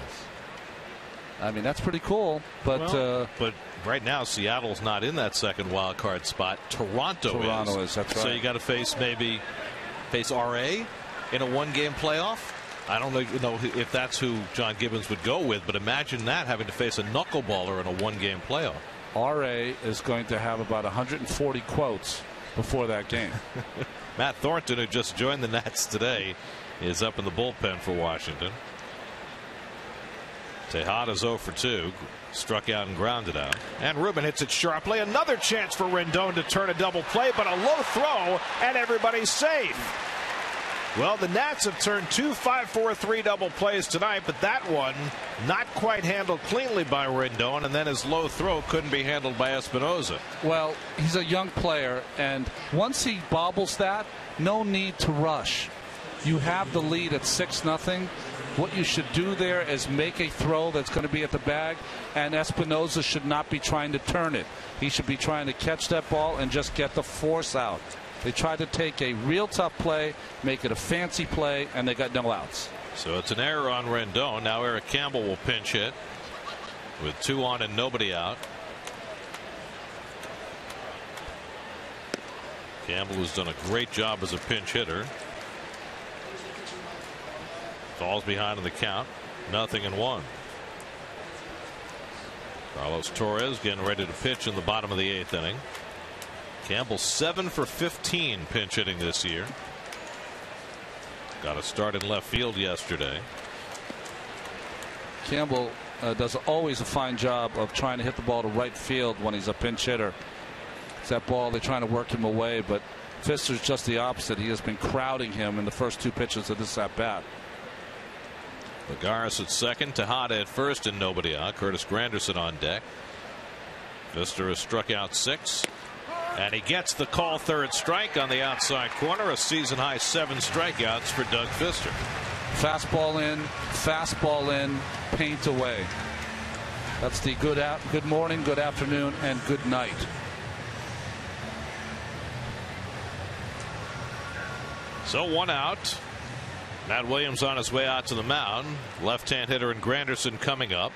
Lefty Matt Thornton up in the bullpen. Fister working on a shutout at 101 pitches. And he is going to come out of the game.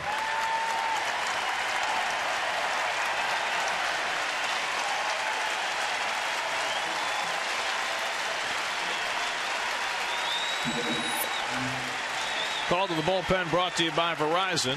Matt Thornton will make his Nationals debut coming in for Fister when we come back.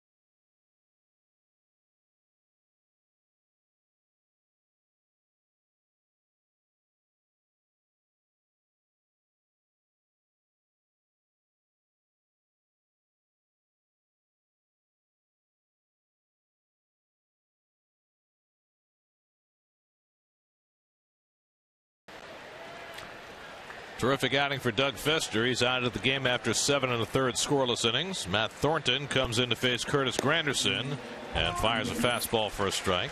Well, Thornton uh, has been outstanding. What a career he's had. He hasn't pitched less than 55 games in nine years, and this year he's already at 46. This is his 47th, so probably going to do it for the 10th year in a row. Dependable, always been an eighth inning kind of guy, specialty lefty. Granderson just three for 21 in his career against Thornton. Still throws hard enough, throws 95 plus, but there was a time when he used to bring it up there around 100 miles an hour. His numbers with the Yankees don't look bad on paper, but they let him go on waivers, allowed the Nats to claim him, and he's now the third lefty in that Washington bullpen. He's going to do fine over here because because of the three lefties, Gary. He's going to get that one lefty in the, the middle of the lineup, and that'll be it. Here he'll face two because of Granderson and Murphy back to back. Unless he gets a double play ball. By the way, Granderson has not grounded into a double play this season. None. And he got jammed off his thumbs. Well, it's either get hit in the stomach or foul it off. I mean, that's one arm swing. Hmm. He's pulling the emergency ripcord. Two on and one out. And Granderson lifts one to left center. Harper is there to grab it. Two out.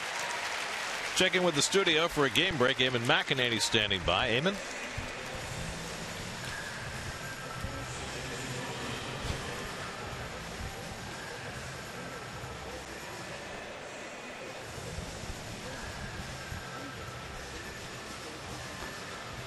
Giants two and a half back in the West. Milwaukee a game in front in the East. In the uh, Central, I should say. Here's Daniel Murphy with two out and two on. Interesting. Thornton talking to a Lobaton. Uh, Lobaton probably trying to say, "Hey, listen, are you comfortable with Murphy? Do you know how you want to go after him?" And and Thornton either said yes or no. But fastball away, Murph against lefties will go that way with it. Murphy's first ever at bat against Thornton in a big league game. Two out and two on, and Murphy takes a knee high strike. Murphy one for three, single to center his last time up. Nats got three in the first, two of them on an Adam LaRoche home run, and then three in the sixth on a Danny Espinosa three run homer, and that's been plenty. And Thornton quickly ahead on Murphy 0 2. Thornton reminds me a little bit of. You remember Arthur Rhodes? Yeah. Uh, had a long and storied career, but every time they tried to have him close, it didn't work out so well. Well, it's like Thornton. Thornton's always been great in the eighth inning.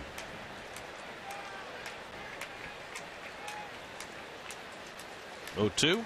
And Murphy with the emergency hack fouls off the breaking ball.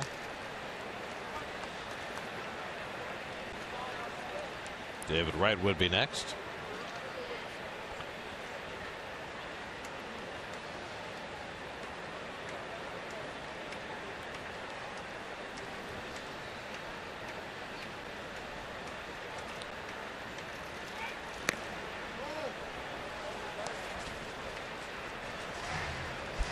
Pretty nice when you're 37 years old and you can come in through in 96. Well, sometimes it's hard to uh, tell, but he is a big boy out there.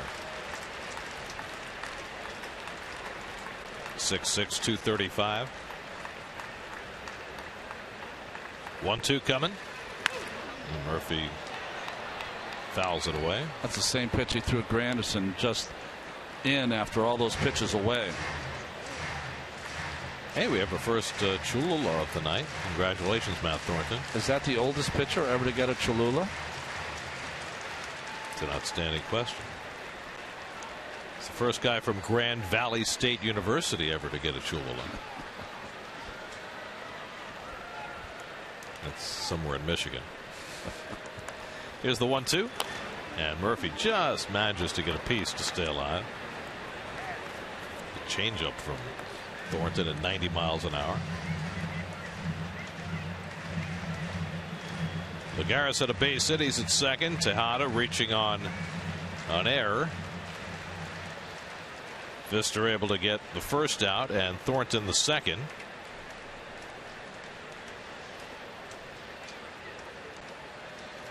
This will be the seventh pitch of the at bat to Murphy.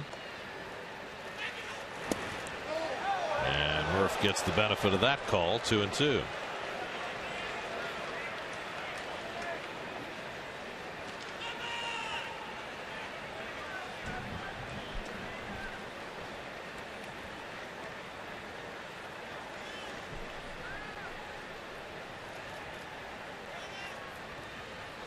Two out, two on, two and two to Murphy.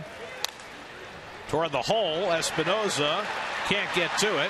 Around third comes Lagares, and he'll score the first Met run of the night. So Daniel Murphy sneaks an RBI single through the hole, and now it's six to one Washington. 48th run batted in for Murphy. His second hit of the night. Well, Espinosa does the right thing here. As an infielder, you want to try to keep that in front of you so the run doesn't score. Good jump with two outs by Lagares. You shouldn't be peeking at the ball, which he doesn't, just going hard and scores the run.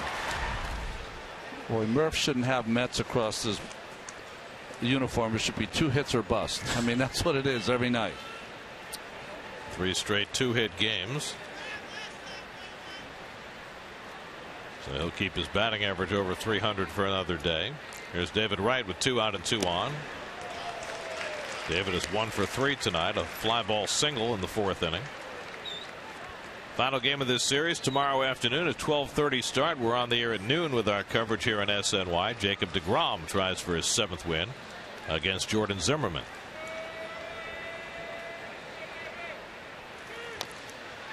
And Thornton quickly ahead on Wright. Well, he got ahead on Granderson 0-2, got ahead on Murphy 0-2, and now he's 0-2 on Wright. Tyler Clippard is up in the Washington bullpen. The thing with Thornton, he's got a good fastball. I would say his breaking ball is not his best. So when he gets ahead, can he put you away? 0-2 to David. Right at Desmond, and he makes the flip, and that ends the inning. Mets get an unearned run to crack the scoreboard, but it's 6-1 Washington going to the bottom of the eighth.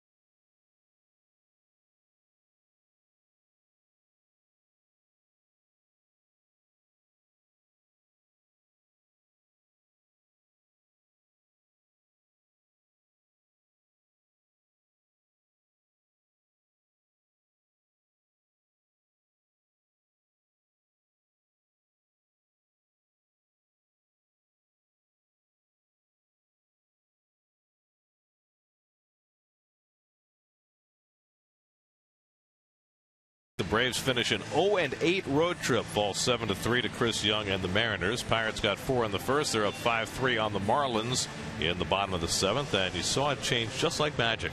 The Reds now up 8 0 Wow. over the Indians, trying for their second straight shutout of Cleveland. Gary, that's what we do. We're on top of it. Carlos Torres on to pitch the bottom of the eighth. Well, I'll try to be on top of it here. Carlos Torres in the pitch this ninth inning. Sorry, bottom of the eighth It's inning. almost the ninth. bottom of the eighth inning. We'll get there. I promise. Adam LaRoche delivered the big blow of the first inning, a two run homer off Jon Niese. And the Nats have not looked back. LaRoche, Desmond, and Harper for Washington in the bottom of the eighth. Neese went six, allowed six runs, eight hits, two walks, two strikeouts, two home runs. And unless the Mets have a big rally in them in the ninth, Niese, for the first time in his career, will lose his fourth straight start. Hmm.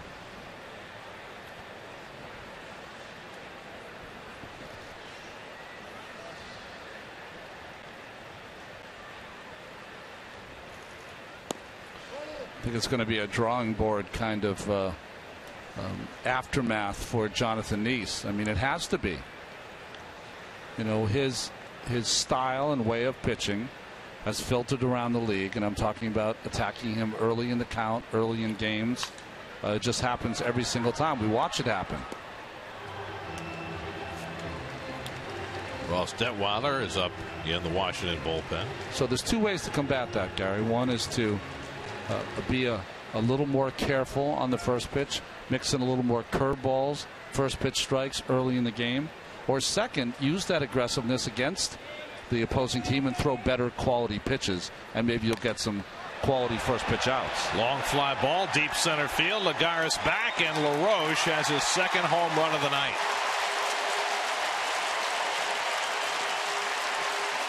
15 on the year for LaRoche, who has snapped big time out of a slump in these two games. It's now 7 to 1 Washington.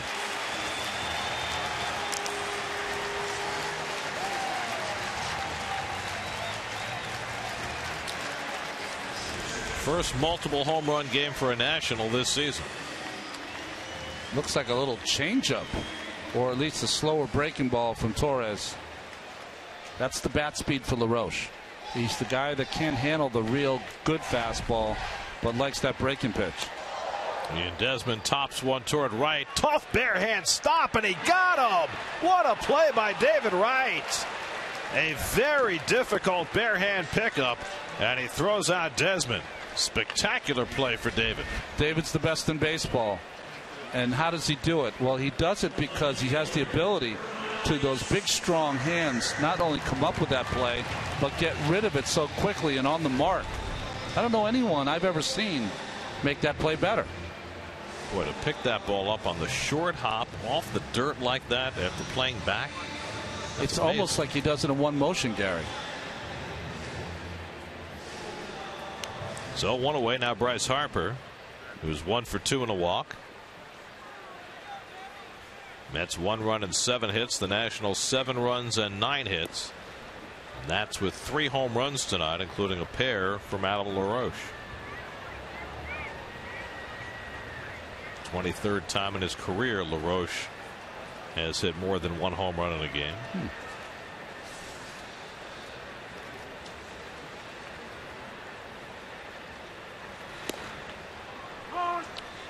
So if I look back on the Mets and the Nats and you try to come up with some themes on why in the last 13 games, well, sorry, 12 games to 12, 10 and 2, they, uh, and winning this game could go to 11 and 2 as the ball comes on the field. They know all about that in Cleveland.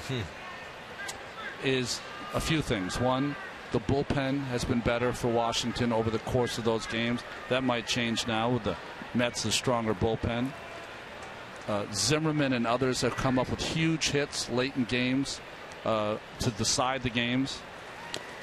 And the third thing, which is uh, I, I find um, the one that is the most appalling for me, is every single one of these Washington hitters is extremely comfortable. There's nobody who ever has to back off.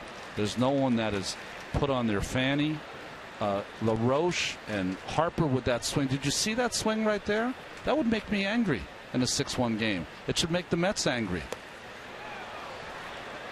LaRoche strikes out Harper with a breaking ball, two out. It's like what the hitter is telling you is that in this game now, I'm just going to swing out of my shoes and hope I hit one 500 feet. And uh, that would not be appealing to me. That would make me angry. And it should make the Mets angry. And where does that come from? Does that come from an individual pitcher? Does that come from manager, pitching coach, front office? I think that you get to a point where you're so comfortable um, and work so hard to throw strikes, and that's a good place to be. But you also have to recognize there's a game within a game. This team has had its way with you, and they are going to try to win the division. Well, how do you stand up to a team? You let them know that you're in for the fight. There's there's no reason in a game like this that you go, okay, I'm watching you guys swing. I'm not taking it. Try this one on for size. And I'm not talking about hitting anybody. Not at all. But you're also not going to swing from the bottom of your shoes every single time up like this is home run derby. Game's changed. I know that. Well, not necessarily. I mean, just think back to the last half inning and the pitches to Granderson and Murphy that nearly broke their thumbs. Well, that's why Washington do, has been doing it better. They do pitch in. Fister, that's how he won the game tonight. He threw, what, 40% of his pitches inside to righties and lefties? That's how he won the game.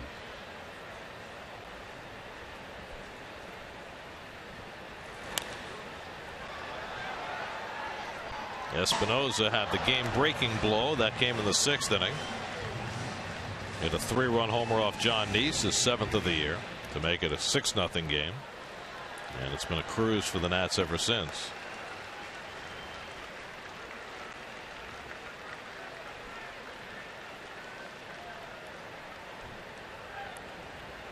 One two from Torres, and it's too high. The first time we ever saw Danny Espinosa, he had home runs from both sides of the plate against the Mets. It was here, right? Yeah, September in his he's just been called up maybe a few days before. Dillon Gee pitching that game? Probably not because Dillon always beats the Nationals. yeah, right.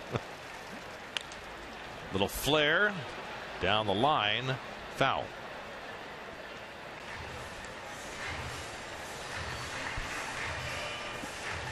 And it looked, you know, I mean, Espinosa has tremendous power. He's a terrific defensive player, and it looked as though he was going to be a star. But by last year, he was back in the minor leagues hitting under Yeah. 200. So it has not come easily for him.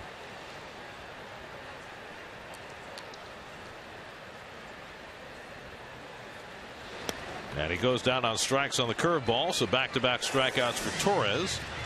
But Adam LaRoche with his second home run of the night makes it 7 to 1 as we go to the ninth in D.C.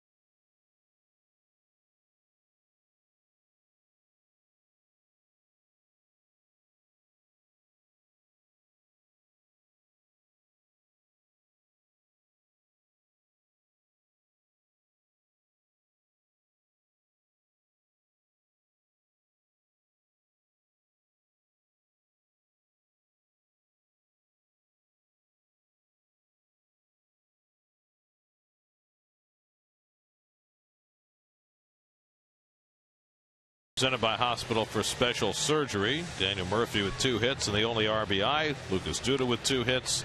But the Mets not doing much against Doug Fister, who gave up just an unearned run in seven and a third. Coming up after the postgame tonight, Brian Custer will have Geico Sports Night. All Mets and Yankees and Jets and Giants. Incomparable. We're incomparable now. Well, that's Brian Custer. He's, he's the, one of the nicest guys on the planet That's really overstating the case, don't you think? by leaps and bounds. Ross Detwiler will lead, will uh, pitch the ninth inning. Lucas Duda takes inside ball one. Duda two for three tonight.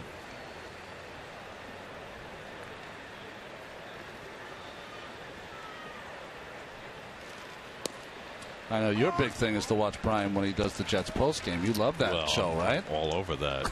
I mean, that that's must watching. Not so much after the Jets win, but after they lose. Really? Oh, gotta watch just for Klecko.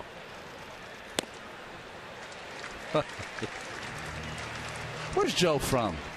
Philly, uh, Philly, uh, yeah, because he's got a real distinct accent, and I mean, I love it. I mean, Joe Klecko, you got to love anything. I don't want him to be mad at me.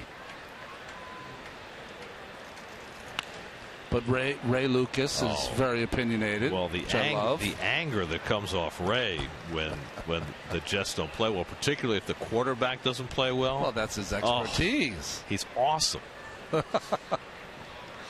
He feels your pain. You know, it's been a long drive spell.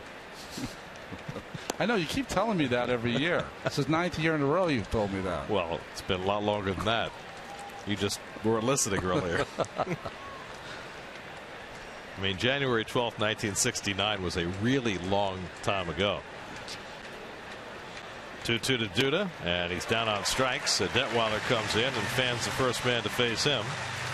One down in the ninth.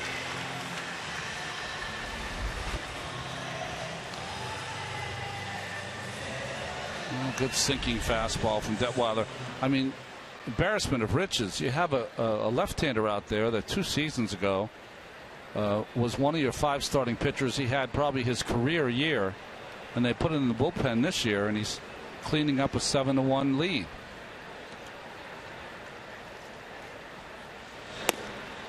Travis d'Arnaud takes a strike. d'Arnaud 0 for 3 tonight, now just 2 for his last 24.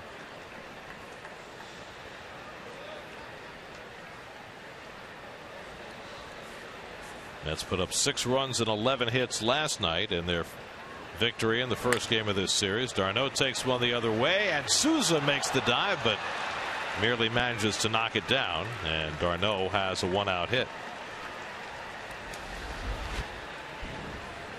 Well, nice try by Souza in right field, and a much needed hit for Travis d'Arnaud there. I'm thinking d'Arnaud probably gets the day off tomorrow, right, Gary? 12:35 game. I think there's a chance of that, but I don't know. It's not a guarantee. Well, when I, when you talk about now three for 25, probably could use a day off. Maybe. Chris Young will pinch hit, batting for Kirk Nieuwenhuis against the left-hander. Nieuwenhuis went 0 for 3 tonight, robbed of a hit on a great play by LaRoche's last time. Chris started last night in right field. Went 1 for 3 and a walk.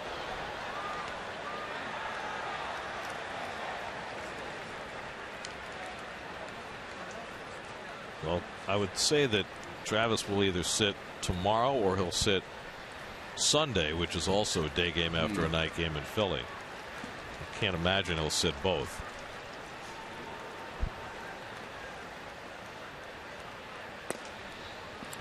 Interesting, huh? Five game series against the Phillies last time you're in town, and a four game series this time. Well, they only managed to get one game in the first trip, That's that's right. which is what led to the five.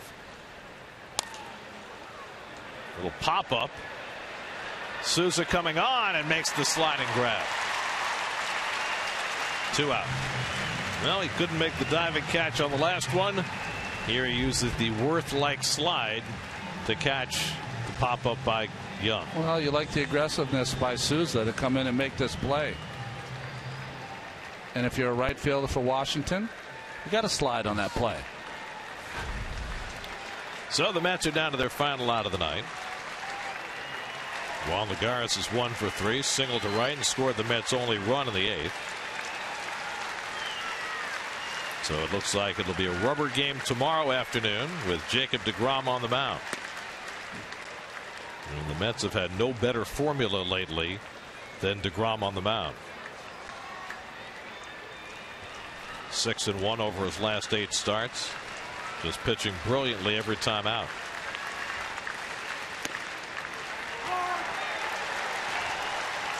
Ball and a strike to Lagares.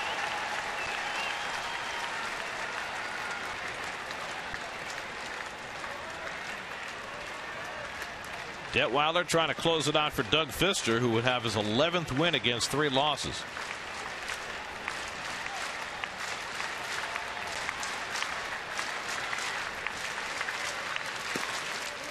Fister with his effort tonight lowered his ERA to 2.49. He still doesn't have enough innings to qualify for the league leaders, but he'd be right around fifth in the league. He's getting there. Yep.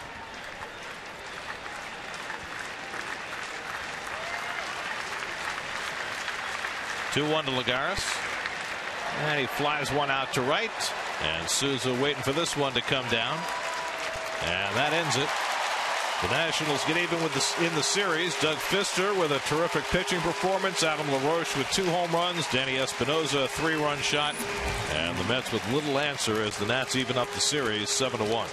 Well, Fister just came out throwing and punching strikes in there, one after another. The Mets couldn't counter, and Jonathan Niese just didn't have it today.